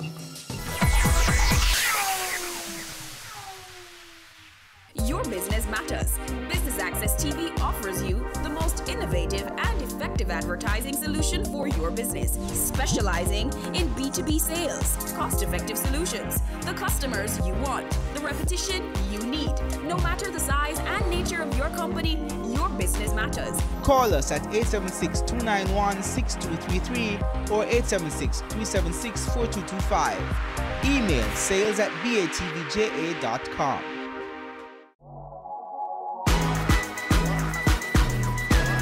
The Good Life, your trusted source for useful health and wellness information, lifestyle tips for the mind, body, and soul.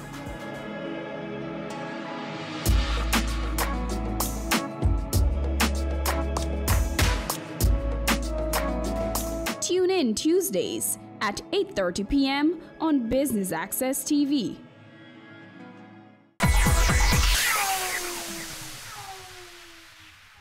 Welcome back to BATV's coverage of the JSE core competencies to excel as a corporate secretary. So, what is this corporate governance index that we have been talking about? And it really is a tool that has been developed to measure how all entities that are listed, at least surely for us listed on the stock exchange, how it conforms to various established corporate governance principles. Now, typically, the index has a numerical value, right, where the extremes of the values are overall good and poor. And also, it assists in improving the transparency and ultimately FDI for countries. Because research has shown that countries and surely listed companies uh, like using the stock exchanges that have a corporate governance index, especially when there's not very strong regulatory environment for them to operate within, the corporate governance index has actually helped to create greater investment opportunities. And what the research has shown is that countries with the indices have shown significant growth in corporate governance practices. So let's talk a little about the Corporate Governance Index in Jamaica. And the index has been developed by the Jamaica Stock Exchange. As I indicated before, it's the first for the Caribbean region. The process that is being utilized is that it's going to be automatic, so that whether you're listed on the junior market or you're listed on the main market, you are going to be assessed using the index manual. So the purpose of the index, as stated by the Jamaica Stock Exchange, is to first of all periodically measure listed companies' conformance to required corporate governance principles and practices.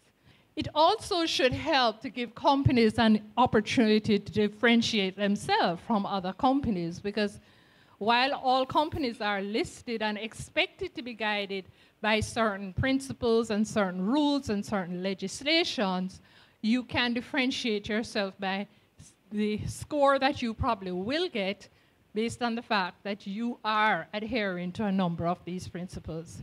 It will also provide a benchmark by which other parties, external parties, locally and internationally know can gauge companies' adherence to corporate governance practices.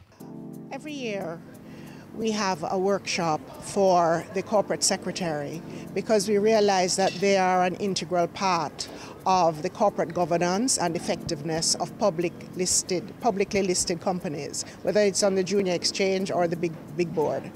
And uh, we uh, were fortunate in that the, um, the head of the Institute of Chartered Secretaries and Administrators of the UK uh, was coming on a visit to Jamaica to meet with the Jamaica Stock Exchange because we are in the process of uh, representing them in providing training and continuing development for corporate secretaries, persons who want to be corporate secretaries. Uh, and as a matter of fact, there is an upcoming fast track that's going to be available for attorneys and chartered accountants who invariably are performing the duties of the chartered secretary. And what it will allow them to do is to have the formal chartered secretary designation. So we felt that this was very important to continue to um, lift the profile of the chartered secretary and their role in um, listed companies. I thought the conference was excellent, actually. Um, the seminar was excellent. Um, it touched on very important aspects that are critical for the development of our businesses within Jamaica and internationally, and for our companies, um, concentrating on corporate governance and the coming the amendments that have just occurred in the Companies Act and why corporate governance is so important. So, I encourage everyone to be at the next seminar. But governance is here to stay. There's no doubt about that. Um, and it's the proportionate application of governance principles which is so important in all types of organization. But in order to be able to do that, every organization needs to be clear about its organizational purpose. Then the board, the directors, need to be clear about the key values by which that purpose is going to be delivered.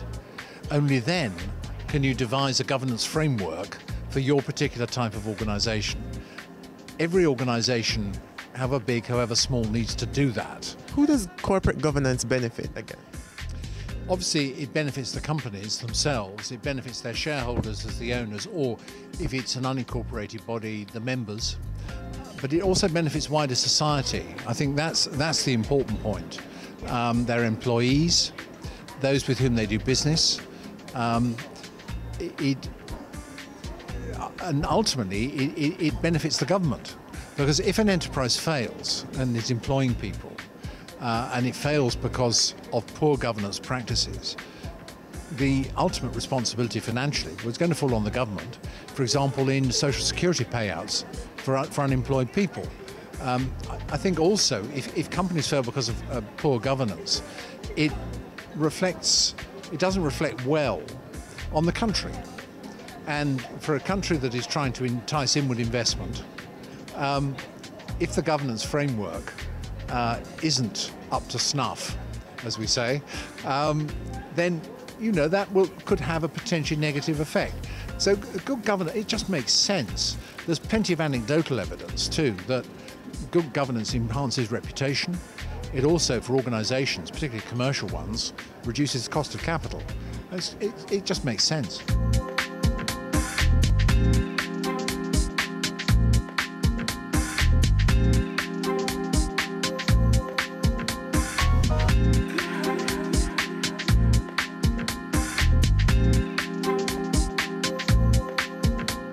That's it from us here at the JSE Core Competencies to Excel as a Corporate Secretary. I've been your host, Andrew Laidley, and thanks for tuning in to Business Access TV. Serious about business.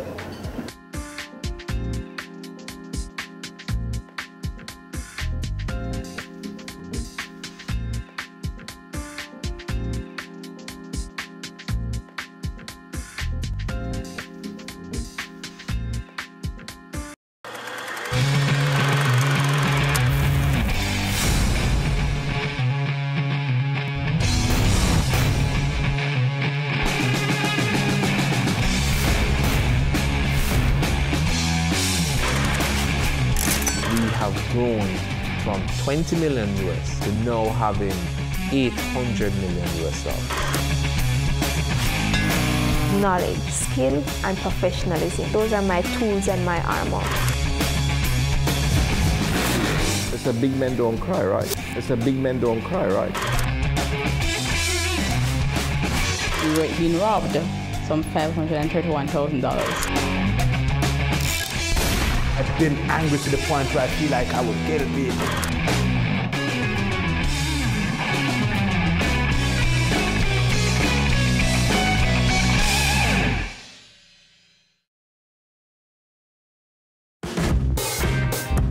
Butch Hendrickson.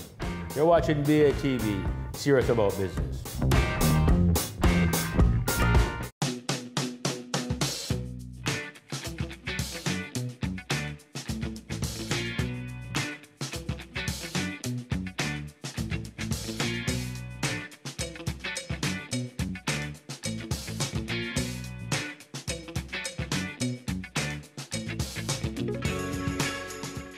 Want to get into your, your business life. Tell me about your role as manager for marketing and PR for Bashco.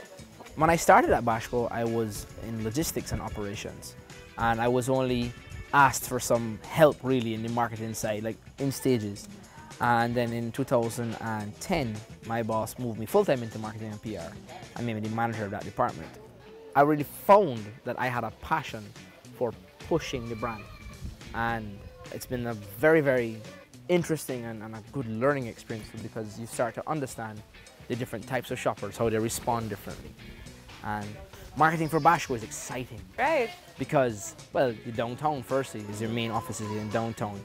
And then you have all the other, you know, there's all the traveling involved because Bashco has 12 locations across Jamaica. When I first took over the, the job of marketing and PR, my goal was I wanted to make Bashco in the back of your mind all of the time when anyone is talking about, oh, I need to pick up something for my home.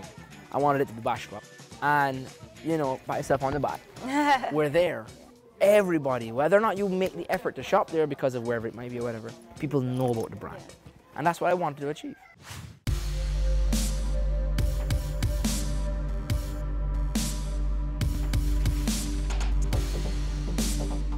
I love my team. They are the stones that Mhm. build the building, that build your house. I'm not into construction. My brother would laugh at me. I probably forgot a step, right? but they're the foundation of what makes the marketing possible. And all the times you see me out and you see me in a photo or you see me on the internet or you see me on They the TV see you as whatever. face, yeah. Right, but it's because the team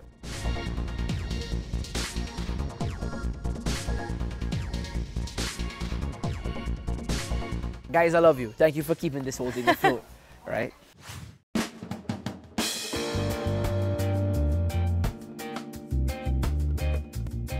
What is it like for you working in a family-owned company? Do you find you get special treatment or do you have to work twice as hard? Which one is it? Okay, that's a great question. And I, can actually relate it to before I worked in Jamaica.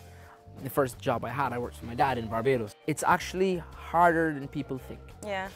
The expectation is that, no man, your family, you figured it out. But what actually happens is that when people have their 9 to 5 and they go home, your phone rings. What happened today, man? Mm-hmm. What happened to so-and-so? You, you can't let me down. Right. That's, there's an extra level of, I guess, pressure, Pressure, yeah. but also expectation and, and that responsibility, and you have to own it. It has its benefits because you have a chance to sit down at someone's home and feel out their vision and feel out what they're talking about, what they're interested in, what they want to achieve outside of the tie and long sleeve shirt setting.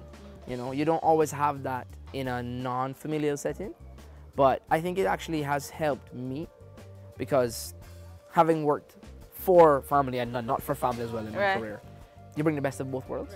So I could say it's probably harder than people think.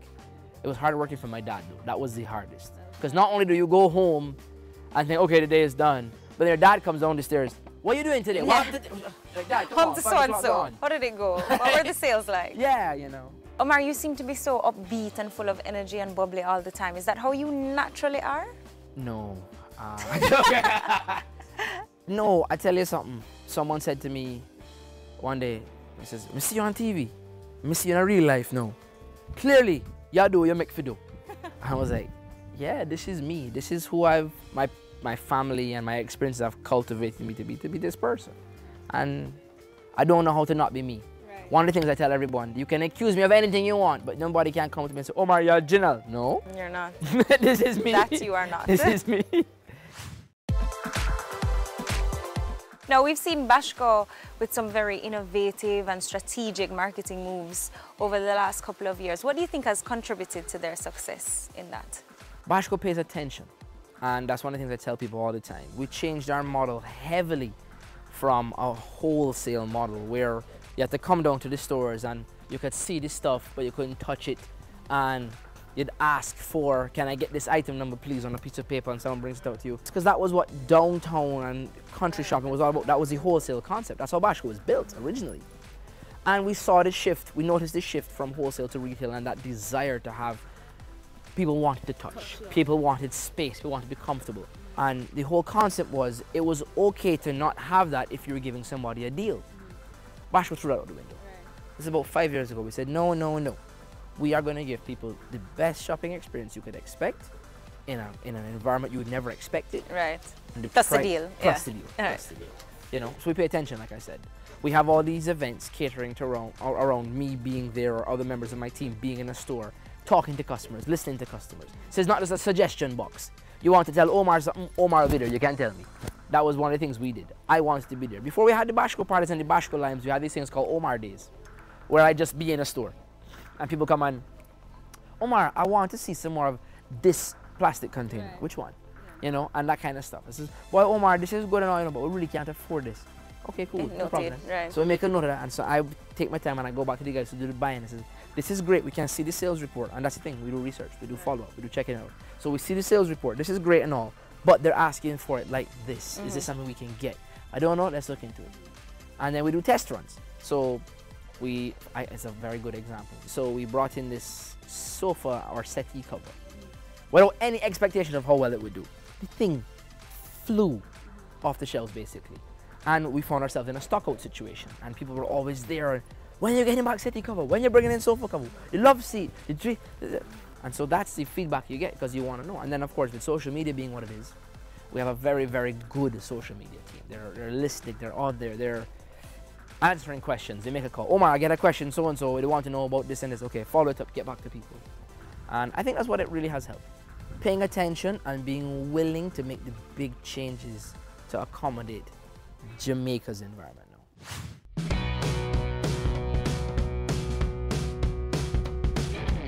What would you say has been the key contributor to Bashco's growth and success over the years? Okay, so along with the marketing pushes we've been making, um, Bashco has changed and diversified the lines offered in the stores. And the biggest thing for that was the addition of grocery lines. Because you couldn't find groceries in a Bashco location. That wasn't the thing. I would say, let's try it. Let's add a bit of canned goods here, a bit of um, some salt, some flour, some cornmeal. And it worked. And so we said, okay, people want this stuff. And so we, we, we treat it like that. We test this, we test this, we test this. diversify as you go Diversify. And then also being accessible. Right. So, like I said, we have 12 locations. Um, and what we have done is made sure that locations are in places that are accessible to even in smaller places.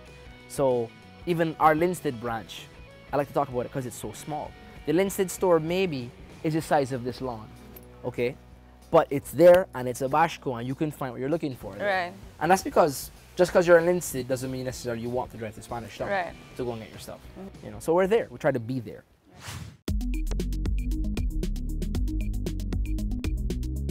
What would you say has been your biggest contribution to the industry here in Jamaica? I think businesses were doing things differently. And because we made the effort, and I made the effort to be on the ground and be talking to customers, and physically, someone from quote unquote upper level management is walking around in a store, wherever that store is. I don't care if it's in Savlamar or if it's in Santa Cruz or if it's in Mandeville, I'll be there. And people don't expect that. Mhm. And what has happened is that I've personified the brand. Right. And that personification of the brand has changed what people look for when they're shopping. They mm-hmm. want someone to reach out to them. They want someone to engage them. They want someone who is. So yeah, you could shop other places. When I go here, this man talked to me because I believe all customers are customers. I don't care if you're spending a hundred and something thousand dollar on a brand new freezer or you're coming to buy a hundred dollar plastic container. I don't care. I see every single customer as worth it, and that's the difference we've made. And I see other businesses doing it. I see other businesses with a personality. I see other businesses having more outside broadcasts. I see other businesses doing more television commercials and trying to make really, really good quality radio advertisements. Right. And I think that's good. I think I'm proud of that, that my efforts and my team's efforts have encouraged the industry to be better at what it does.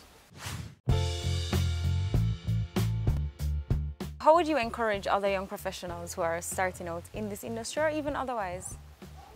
You're not going to like my answer, you know. Let me hear it first. Let go of the haughty pride.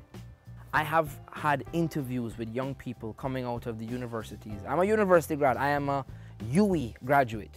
and I've met UWI graduates and I've met other graduates from around the world and a lot of the problem I see these young professionals come out and I'm not saying don't be proud of yourself and believe in yourself but whether or not you are the greatest thing since sliced bread let your potential employer discover that don't force them to see it one of the things I try and, and preach to my team is the greatest failing you can ever make is to believe you're infallible right your first step in a situation where there's something going wrong is, okay, what did I do? That's your first step. Not, oh, what go on with them or what happened to them? What did I do? What can I do better? How can I improve what I just did? Let me consult myself Right. and see what I can do differently. Before you blame someone else for the failings of a project or a team or cry on an organization or try to change what they're doing, see how better you can contribute to the team and to the unit. And don't expect the world to owe you anything. Mhm. Put in the effort. Right. Just put in the effort. Omar, I don't know about you, but all this talking has got me working up an appetite. So I am ready for lunch and to experience the macaroni pie. Yes! oh, you won't be disappointed, I promise you. I promise you, you won't be disappointed. Coming up. So I guess what I want to know from you guys is how would you describe Omar? I'm proud of the, of the man that my son has become. And I believe that there is still more that he can achieve.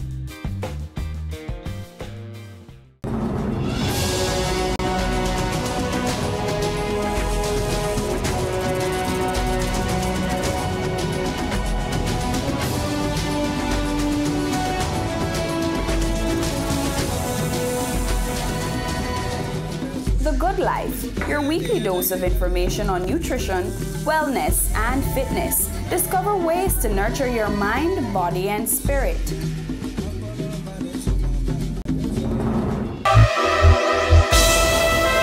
This is Solomon Sharp, CEO Main Event Entertainment Group. You're watching Business Access TV, serious about business.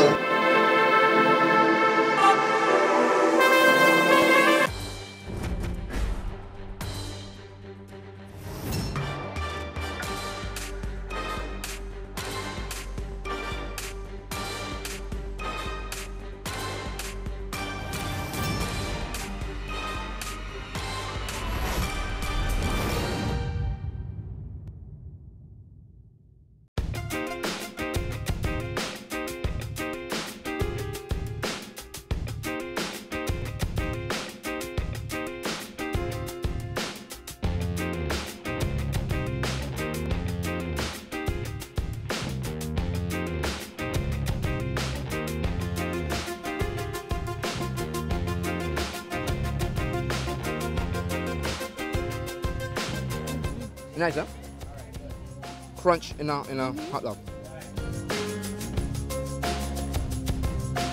cheers, cheers, bigger. Cheers, cheers.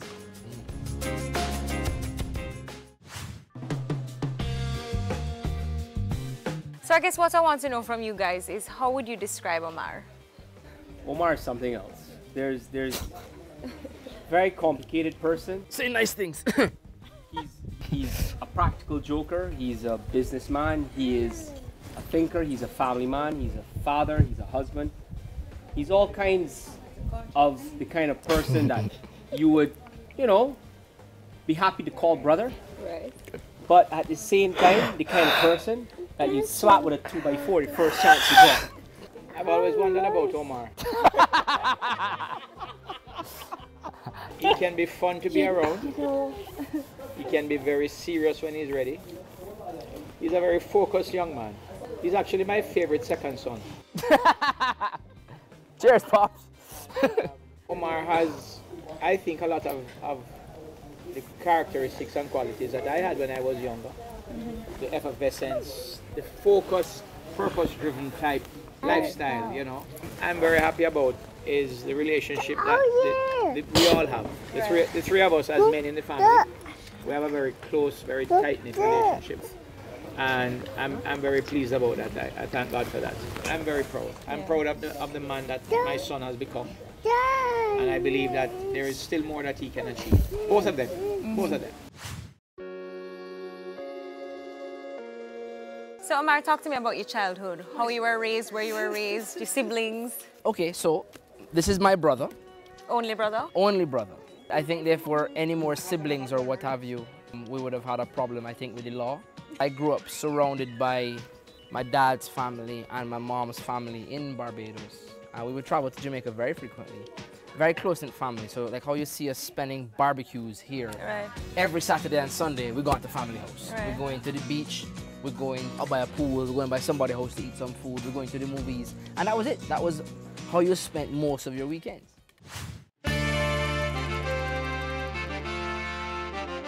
They used to call me Mr. Energy in school. And you know that. I would be, I'd try everything. Football, I'm going to try it. Cricket, I'm going to try it. High school for me was when I was introduced to playing an instrument, playing the trumpet. And it was like a, a whole new world. You know what I mean? Okay. It opened up things I would never have thought possible for me. Uh, and acting as well. I did acting in high school along with music. And while everyone was off running laps around the field or going in you know, some party or whatever, I'm in the music room. And I'm having a great time in the music room. And that was it for me. I started a jazz band, I was in school orchestra, and it just kept going and going and going from there.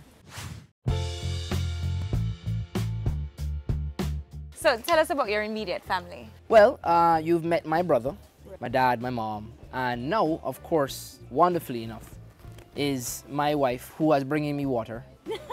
Tiger out, you're out, get Tiger out. out. You Get out, get out, bring her in. here. I met Daniel apparently as kids in Barbados, I don't remember. And I um, don't remember either. I was just about to ask. we apparently were really young, so we don't remember. Like eight. Oh, okay. We re-met at a party here in Jamaica at my dad's house. Barbecue kind of thing. Right. Right, this is our thing, right? Apparently. Funny story, so I called her and says, hey, hi, it's Omar. She's all like, Who? Who? Because by this time I had forgotten, right? It's two months later. Yeah. right? And I said, hey, you wanna go see a movie? She's like, what movie? I, I think it was Iron Man 2. She's like, no, I saw it. She's like, shut down. And then I says, so maybe we can go for ice cream.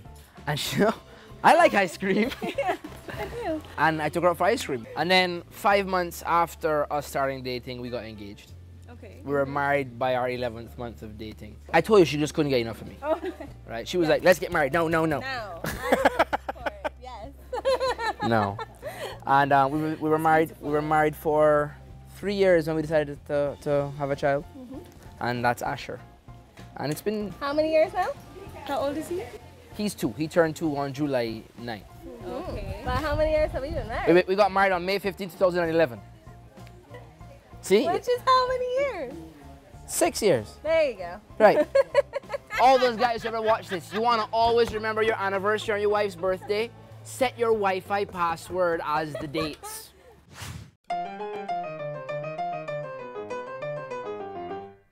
Tell me more about your your life in music.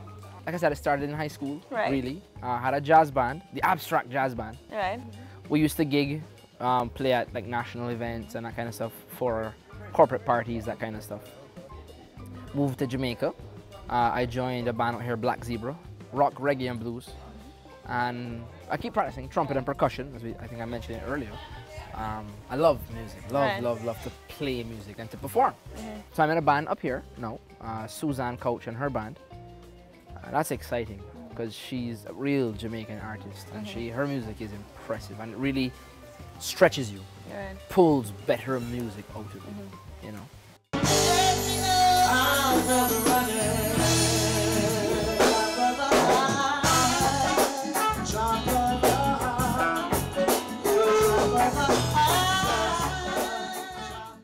I wrote a song for our wedding and I actually sang it. That was the first time I wrote a song can to sing. sing? I used to call her and bug her at work. He does. I used to call her. Just saying the most annoying things, like on purpose. Sadly, when I was in the middle of a meeting, he'd be like, honey, honey. And then he'd go, Love you. it's easy cause you're beautiful. Ah, just to mess with her. That would come uh, right through the speakerphone. Yep. Yeah. yeah, I do. I can sing. Um, I don't sing as often as I play trumpet because physically it's impossible to do it at the same time. Well. Keyboardists can sing and guitarists can sing. Trumpeters can't also sing. Too busy, you know. Um, but music is a very, very big part of who I am. It uh, leads to a lot of how I do other things in my life as well.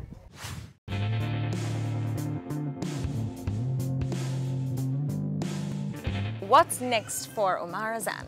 I love my work. Um, I love my music. I absolutely love my family. And I think what I'm going to be trying to do going forward is build a bit more of myself into a brand and maybe start a business that we can run together. Maybe another child. Why the air quotes? We'll see how we'll do with one. the future for us is we're going to build what we have and turn it into something that we can grow for our family.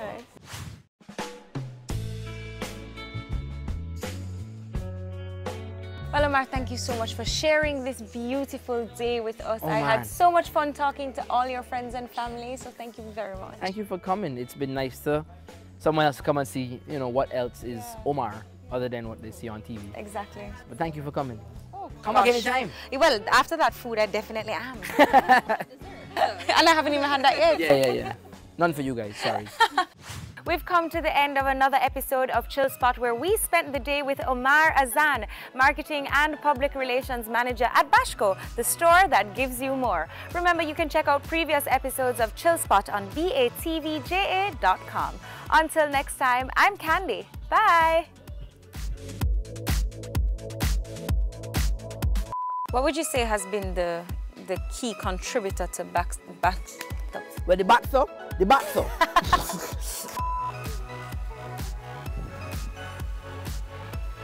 Oh shoot, recording.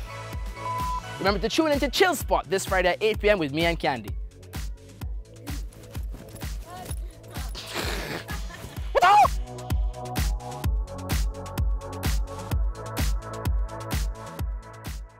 Let's meet.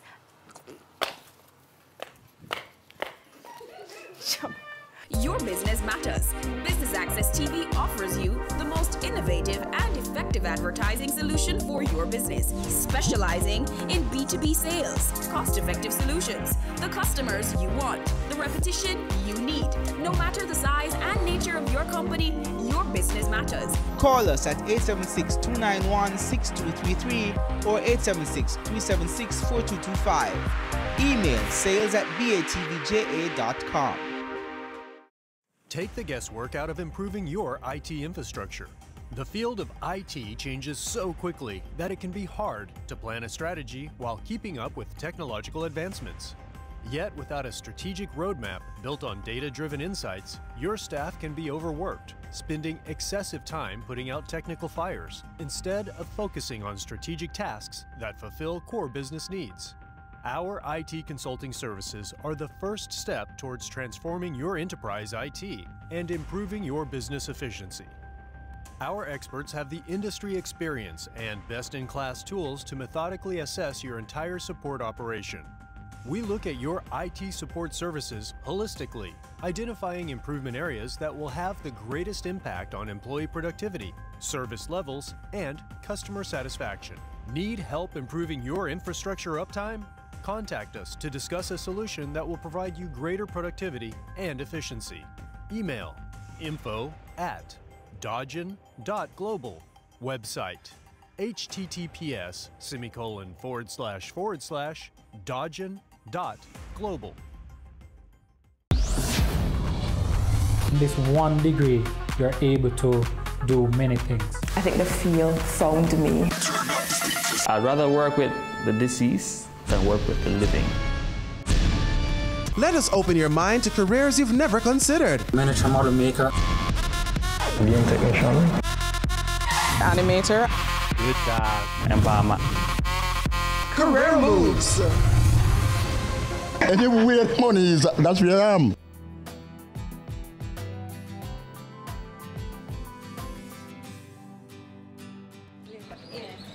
Hi, Mas Errol. How you do? Not too bad. This was so interesting in the paper today, Mas Errol. Enough, enough things. Did you know that the EU has been doing a lot of work in Jamaica? Who is the EU again, Mas Errol? The European Union. A group of European nations that come together to promote social and economic progress and peace across the world. True? Newspaper is all well and good, but I bet I can find more information from the internet. I know just the person to call. Hi, Minister. Minister, Hi, Jody. Hi, Errol. what can you tell us about how the European Union has been helping Jamaica? Over the past 43 years, we have received approximately 1.2 billion euros, and this has run the gamut of a number of developmental programs. A particular area of support has been in the area of agriculture. The EU has provided grant funding and support funding for sugar-dependent areas. Between 2006 and 2017, the EU provided some 23 billion Jamaican dollars to help people living in areas that are dependent on sugar.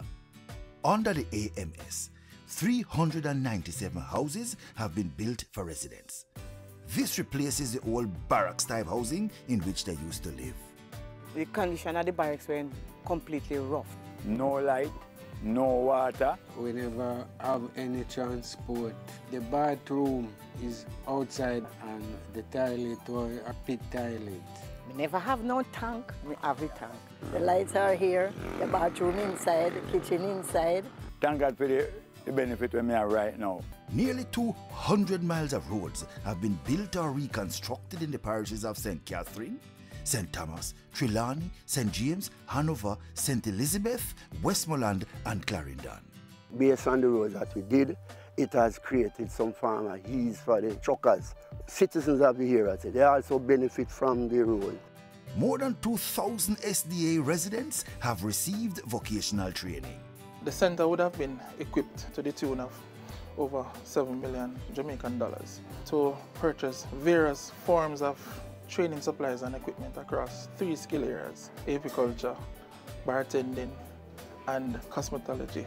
I have been receiving training in various areas such as facial, massage, nail. They have helped me to be certified and I can now earn an honest living from this. The EU provided over 100 million Jamaican dollars in new business grants to residents in sugar dependent areas. Thanks to the EU for giving me this injection of a thousand chicken, the feed and medication. I received one million dollar and it makes me into a woman that I am today. The EU's AMS program has also funded extensive improvement to health facilities. We expand the waiting area, operational space for our doctors and nurses. The staff morale, it has improved because you're better able to work with more privacy. With the funding, we're able to open this section we call the male ward. It is marked improvement over what it was. You feel comfortable, feel like at home. Enhancement of educational facilities. I've assisted us in erecting an auditorium. We have a fully refurbished computer lab and we have a library with over 300 books. We got $11 million to build the facility and it was a wonderful restroom for the school and we appreciate it. Upgrade of childcare facilities. The funds were used to retile the bathrooms, we improved the plumbing area on the dorms, extended the kitchen and the dining room. Conservation of the environment. We embarked on a project here in Salt River, the Portland Bight Discovery Center. Funding has gone towards the erection of the building as well as the construction of the boardwalk. Increased access to sporting facilities and the preservation of Jamaica's historical architecture. We were fortunate to get funding for the rehabilitation of the building with computers and computer workstations. The EU Jamaica relationship has strengthened considerably in recent years. Our contribution focused on building resilience, improving quality of life of people in the communities and providing alternatives. I am absolutely confident uh, that the strong and uh, uh, very constructive relationship that we have today based on trust, based on partnership, will continue. You see how the European Union partner with us? You're right, Mas Errol. Life sweet of it true with the EU.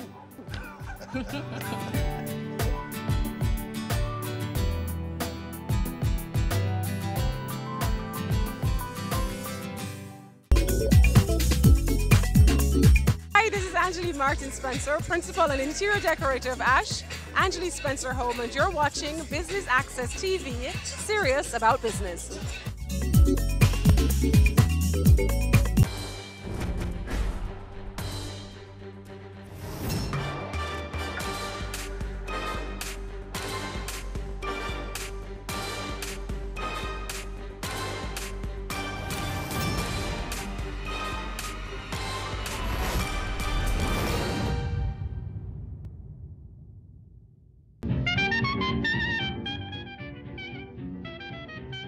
Photography is the process of producing images by the action of radiant energy and especially light on a sensitive surface such as film or an optical sensor.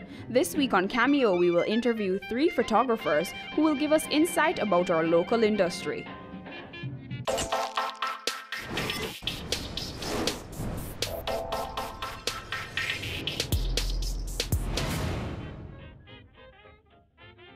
Award winning photographer and graphic designer Howard Moo Young has been in the business for over 50 years. Many of his works have been published and exhibited. He talks to us about his journey. Howard Moo Young is the name. I'm a graphic designer, an advertising consultant, an artist, calligrapher, and of course, photography. After I left Wolmer's, I worked in the field as an apprentice. I went straight into advertising with Jerry Donovan Associates. And um, after two years, I joined Macmillan Advertising as an assistant to the art director. And then I went to New York, spent four to five years in New York at the School of Visual Arts. And that's where I studied officially the art of photography. Once you learn photography from the beginning, where you have film, processing and everything, when you understand black and white, then you understand color slides, because in those days, you know, if you had one piece of dirt on the slide, you are marked down. But it encouraged us to be perfectionists. There's a different eye in taking photographs when it comes to lighting, composition, timing. Anybody can take a picture with a camera, but it takes a photographer to create a photograph. Lighting is very important to photography. It's the most important element of photography, lighting. You have natural light, you have artificial light, you have mixture of both. You have in the night, you have a different kind of light. If you go to Half Way Tree in the day, the clock and that busy sex signal don't look the same as if you go at dusk when the, when, it, when the sun is gone down and the lights come on and the car light is now shining on the clock. People walking, uh, you know, it, it, it's a different mood.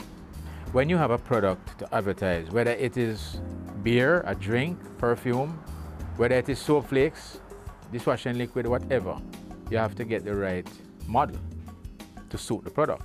So whatever product you're showing, it, the photograph must sell the product together with the model, together with the product itself. You have to know what you can do with the tool in your hand to get the results that you, you need. I tell my students, learn to take pictures with the camera you have. And it doesn't matter whether it's the most expensive camera or if it is just a point and shoot. As I tell people, you cannot look on a picture and tell me which camera took it. You're looking at a photograph based on what the photo is telling you.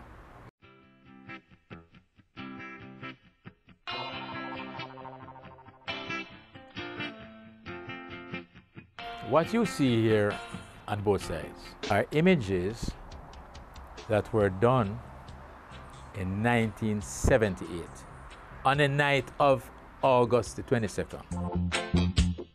At the night of the show now, right? I am there my camera.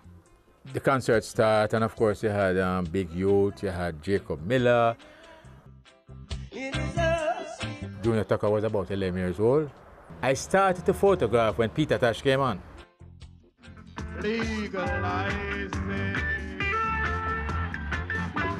Bob Marley.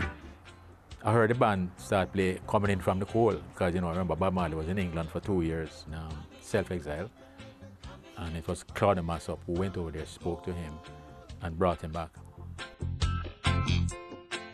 The Gleaner photographers were there, BBC was there, Mick Jagger was there in, in the crowd, Japanese photographer was there, and everybody was shooting like crazy. Don't forget, I have one roll of film. One roll of film and I got about 12 out of 36. And I'm shooting cautious. And I felt a vibe. I felt it was spiritual. All right? I heard the words clearly. Howard, stop shooting now.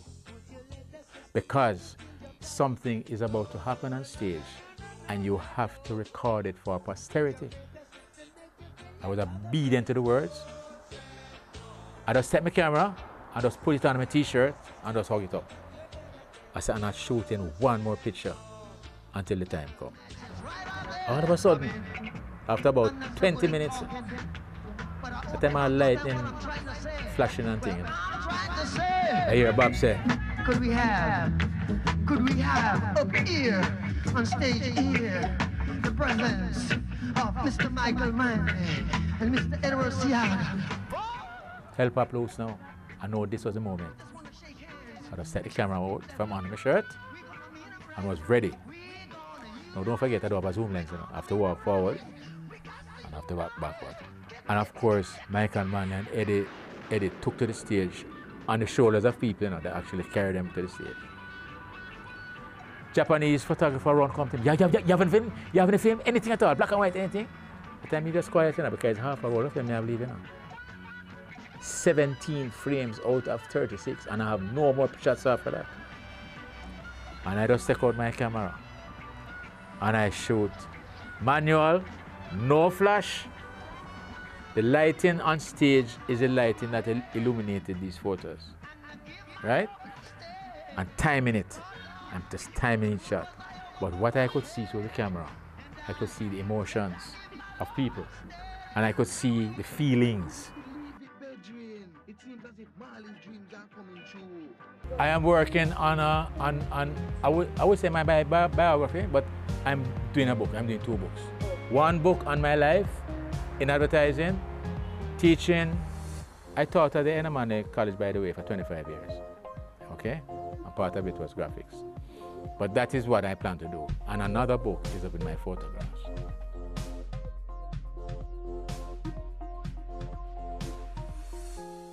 Coming up next, Adrian McDonald.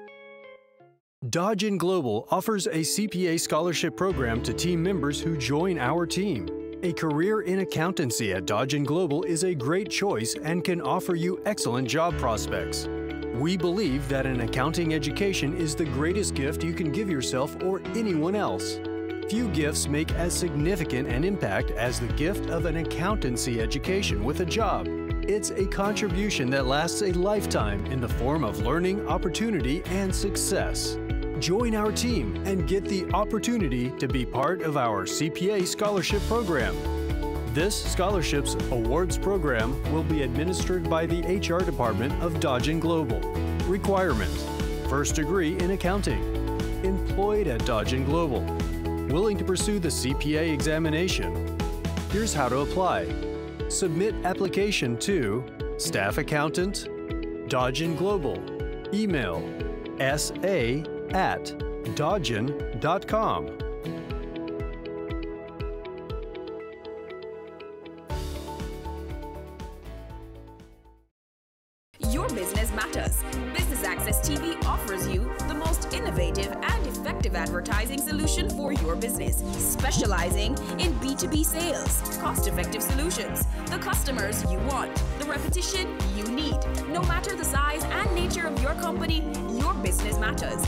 us at 876 291 6233 or 876 376 4225. Email sales at batvja.com. Dodgen Global Introduction. Dodgen Global is an integrated multidisciplinary professional service firm.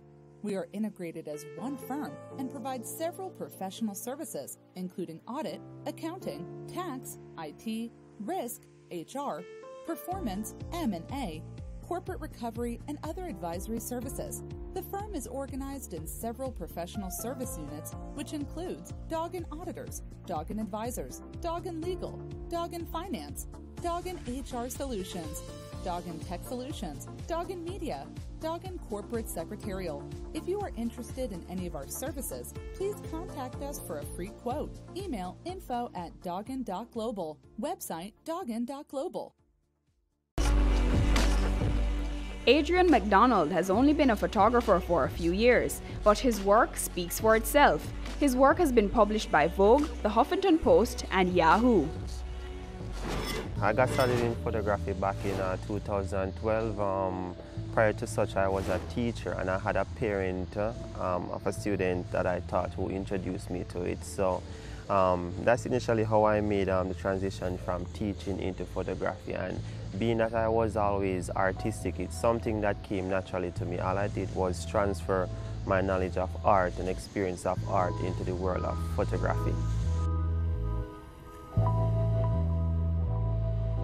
I like to consider my um, style as being um, somewhat minimalistic. Um, it's not always directly obvious what is being expressed. So you have to look at the layers that's underneath it. So sometimes I use elements uh, in each scene to depict a particular story or concept. So um, that's one of the reasons why I try not to venture too much into um, portrait photography because whatever I photograph, it has to have more than just the individual that's being photographed. It has to be a culmination of different uh, elements that bring a story into existence. Initially, when I was um, a teacher, I thought that I was maybe somewhat at the pinnacle of what I wanted to do in life. And I thought, yeah, this is what I ought to be doing because there's such great fulfillment in that as well. But then I discovered photography and the, the, the, how limitless it is in how you as a human being can express yourself through art and how also it can help to change the life of other individual lives of other individuals who are out there as well just by seeing a photograph. I work mostly with models, international models, some from UK, some from um, Canada and so forth. So when they're coming to um, Jamaica and they want to create not the conventional type of fashion shoots or portfolio shoots, they want to do it in a story which embodies them or, cap or captivates an audience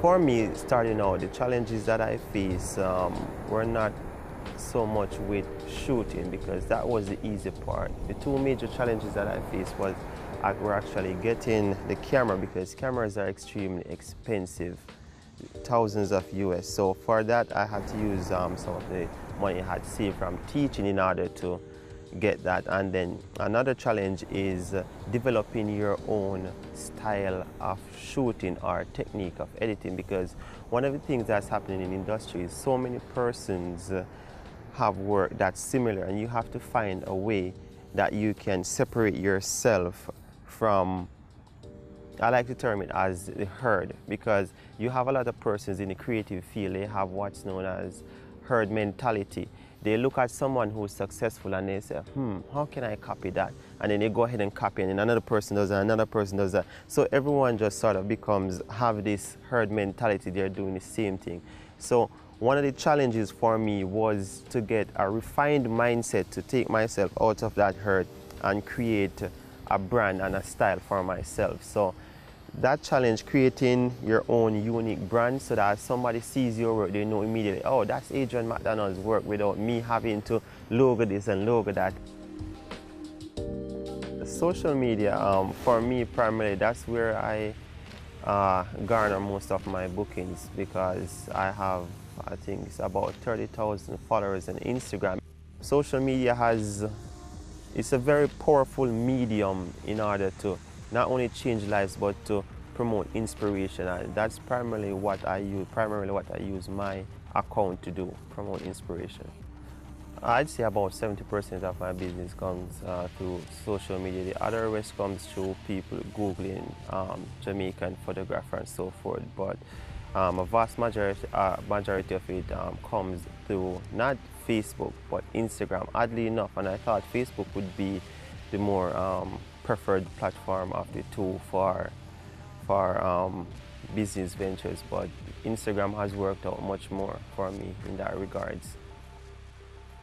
You cannot use one particular style to always depict, and that's something that I struggle with. I have a niche, a style that persons would look at my work and they would know that it's Adrian McDonald, but sometimes you have to decide between style and what you're promoting, or style and the mood of the picture. So some pictures, for example, I did this one whereas it was symbolizing uh, repentance with a woman coming out of the ocean. And for that one, I know that there's no way I could depict that just by taking a photograph. There has to be some, there had to be some surreal effects to that picture. So, um, in some sense, it's my style, and in other sense, it's de it depends on what I'm depicting with that particular photo.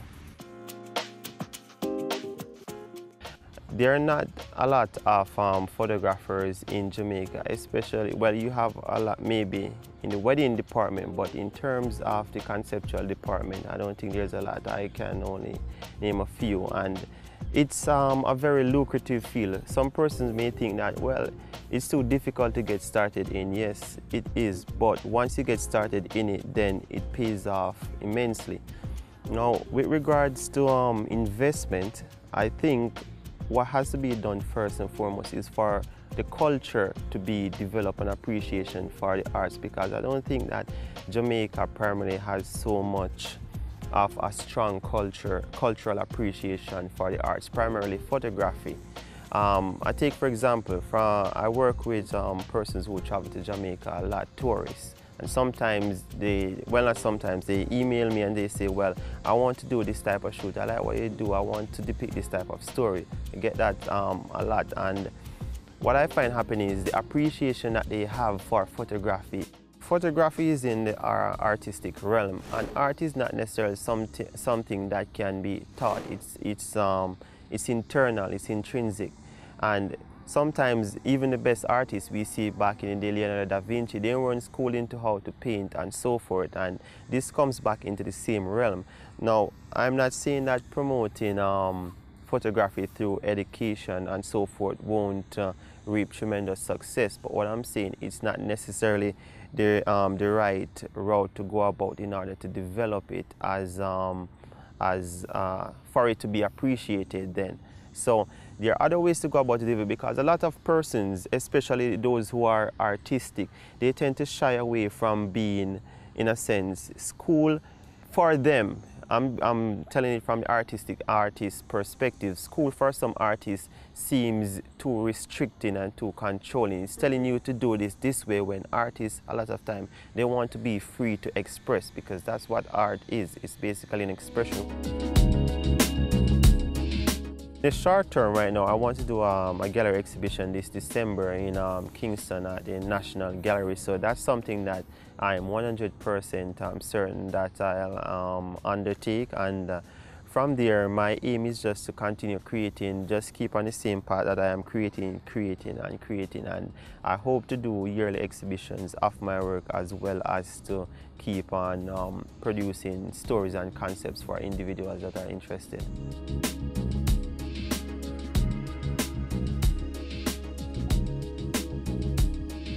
Take the guesswork out of improving your IT infrastructure. The field of IT changes so quickly that it can be hard to plan a strategy while keeping up with technological advancements. Yet, without a strategic roadmap built on data-driven insights, your staff can be overworked, spending excessive time putting out technical fires, instead of focusing on strategic tasks that fulfill core business needs. Our IT consulting services are the first step towards transforming your enterprise IT and improving your business efficiency. Our experts have the industry experience and best-in-class tools to methodically assess your entire support operation. We look at your IT support services holistically, identifying improvement areas that will have the greatest impact on employee productivity, service levels, and customer satisfaction. Need help improving your infrastructure uptime? Contact us to discuss a solution that will provide you greater productivity and efficiency. Email info at dodgen.global. Website https semicolon forward slash forward slash dodgen.global. Your business matters. Business Access TV offers you the most innovative and effective advertising solution for your business, specializing in B2B sales, cost effective solutions, the customers you want, the repetition you need. No matter the size and nature of your company, your business matters. Call us at 876 291 6233 or 876 376 4225. Email sales at batvja.com. Wade Roden, a graduate of the Edna Manley College of Visual and Performing Arts, has been a photographer for five years. He talks to us about his journey. I was a visual communications major at the Edna Manley College. I did an elective in photography. And after I did that first elective, I just fell in love with photography. uh, for my final year show. That's you have to do a show before you leave, before you graduate and leave the college. So I, I did a gallery exhibition on the causes and effects of poverty in Jamaica. And a part of my research was going into the downtown Kingston area and getting candid shots of, you know, people going about their everyday life, hustling and bustling to make money and put food on the table. And it was through those candid shots, like after the project was finished and the exhibition was finished, I looked back at these candid shots and they were actually pretty good. There was a lot of emotion, the fundamental rudiments of photography, like they, they were in the images. So I quickly realized that, you know, I had a grasp of photography. And that is where like I decided to, you know, I'm going to try and see if there's a possibility of making a career out of it.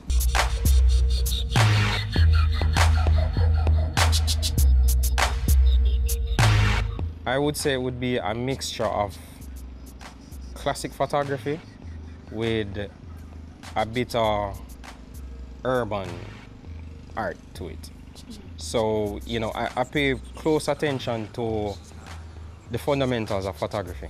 Lighting, form, texture, all of those. But then I try to put just a little bit of edge in there, just to make it different from, you know, just being just a photo.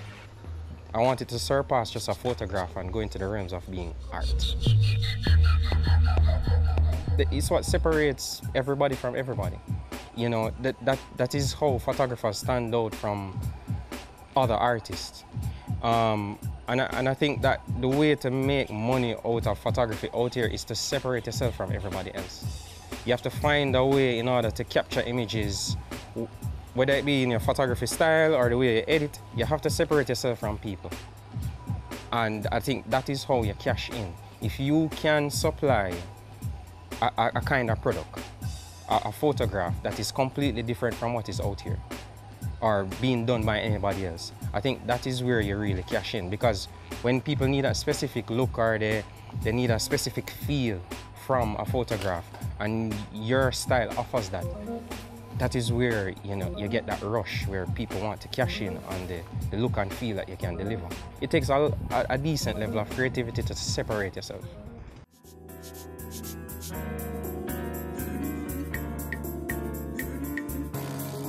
you, you have to try to understand exactly what the client wants as close to it as possible. Because half of the time when they come to you, all they have is just this image in their head. They don't know how they're going to get there. They don't know, they, it's almost like a blurred image kind of, but they, they see enough to know what they want. You now have to go in and find out the fine details, like what they would be wearing, what the setting would be, what the lighting would be like. So you have to really sit down with them and do a lot of reference work, build mood boards and just looking at references with them until you are absolutely certain, they are absolutely certain what they want. And then, you know, you, you break it down into stages. You know, location, whether the, the, the kind of makeup that they're going to want, is it, is it that a specific makeup artist is going to be needed to get that specific look, the lighting, a lot of things, texture. You know, you, you break it down to just little small things until everything is covered and you know exactly what the client wants and you just get it done. One of the main problems I see with young photographers now is just that one of the worst things you could ever do as an artist is come out and just join a line that is already there. And I think that's, that is what a lot of them do. Is that they, they come out as these new photographers and they just, they're basically replicating what other people are already doing. So I think they first need to figure out a specific style that separates them. Because separation is key in order to creating a, a niche for your work a demand for your work, you have to separate yourself. And I think that is one of the difficulties. But I think with time and practice, a lot of practice, you, you can solve that problem.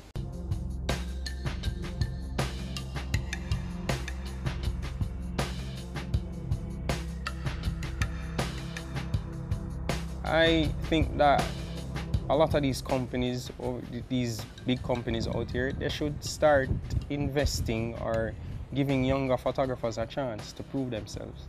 Because the button has to be passed somewhere along the line. It has to. Because these older photographers, they're not going to live forever. So you need to start giving these younger ones the opportunity to exercise their creativity in a professional setting. It, it's one thing to be shooting, you know, in terms of a hobby. But when there is a commercial process, when there's a commercial use behind your images, there tends to be, you need a different mindset. So I think that we need to start the handing over process. If it's even, a, if, it, if it's not even like full on, I think we should start this crossover between not necessarily old photographers, old school photographers, but giving the young ones a chance at, you know, at a commercial workspace. You know, and, and I think that will help to, I don't know, like create more job opportunities for people who don't necessarily want to sit in an office, who, because photography spans a, a, lot of ranges, you know. Mm-hmm. You, you, have jewelry, you have product photography, you have, you know, there, there are avenues where photography can be incorporated as a money-making venture. Mm-hmm. Or for me, mostly it's it's mostly model development. Like I work closely with a lot of agencies all in the Caribbean. Um, but mostly it, I try to stick to fashion or portraits. Like I, I don't necessarily do like ad campaigns for companies like automotive companies or restaurants or anything like that. So you it's, work with people? Yeah, it's, it's more on a people basis. Okay. And I, I get a lot of enjoyment out of that. Because, you know, you're, you're taking these photographs, but you're also getting to know people. Okay. And there, there are going to be a lot of unique moments during those conversations while you're working that you're going to capture. And I think that to me is where the thrill is, you know, and the enjoyment. Okay. I think that should be good. Sure? Yeah. That's it this week on Cameo. We've taken a glimpse into local photography. I'm Amita Prasad Webb.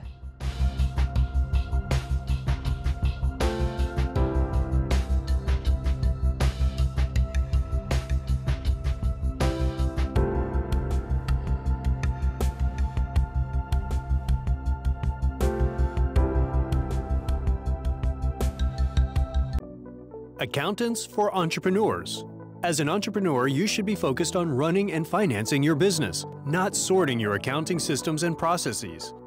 Entrepreneurs are, by nature, dynamic people with a clear vision and a desire to get things done. The challenge for most entrepreneurs is creating a financial and accountancy culture that can keep up with them. That means finding accounting services for entrepreneurs that can provide regular financial updates, a dynamic forward-looking approach to accounting processes, rapid access to personal and business financial statistics, fast turnaround of taxation and other accounting tasks, qualified advice on financial compliance and regulation, access to potential capital sources. Dodgen Global knows that most entrepreneurial businesses are constantly changing, with a need for accountancy support throughout the financial year, not just when a tax or VAT return is due. As such, we're here to help you make smarter and more effective decisions. For more information and to discuss your requirements with one of our experts, please contact us today. Email info at dodgen.global. Website https semicolon forward slash forward slash dodgen.global. Accounting software selection and implementation. With the number of computerized accounting software packages available for small businesses and individuals growing every day, selecting one that is right for you has become increasingly difficult. As accounting professionals, we have knowledge of most programs, either through personal experience or industry literature. Our experienced staff can help you choose and implement the system that best fits your needs. For more information and to discuss your requirements with one of our experts, please contact us today. Email info at dodgen.global. Website https semicolon forward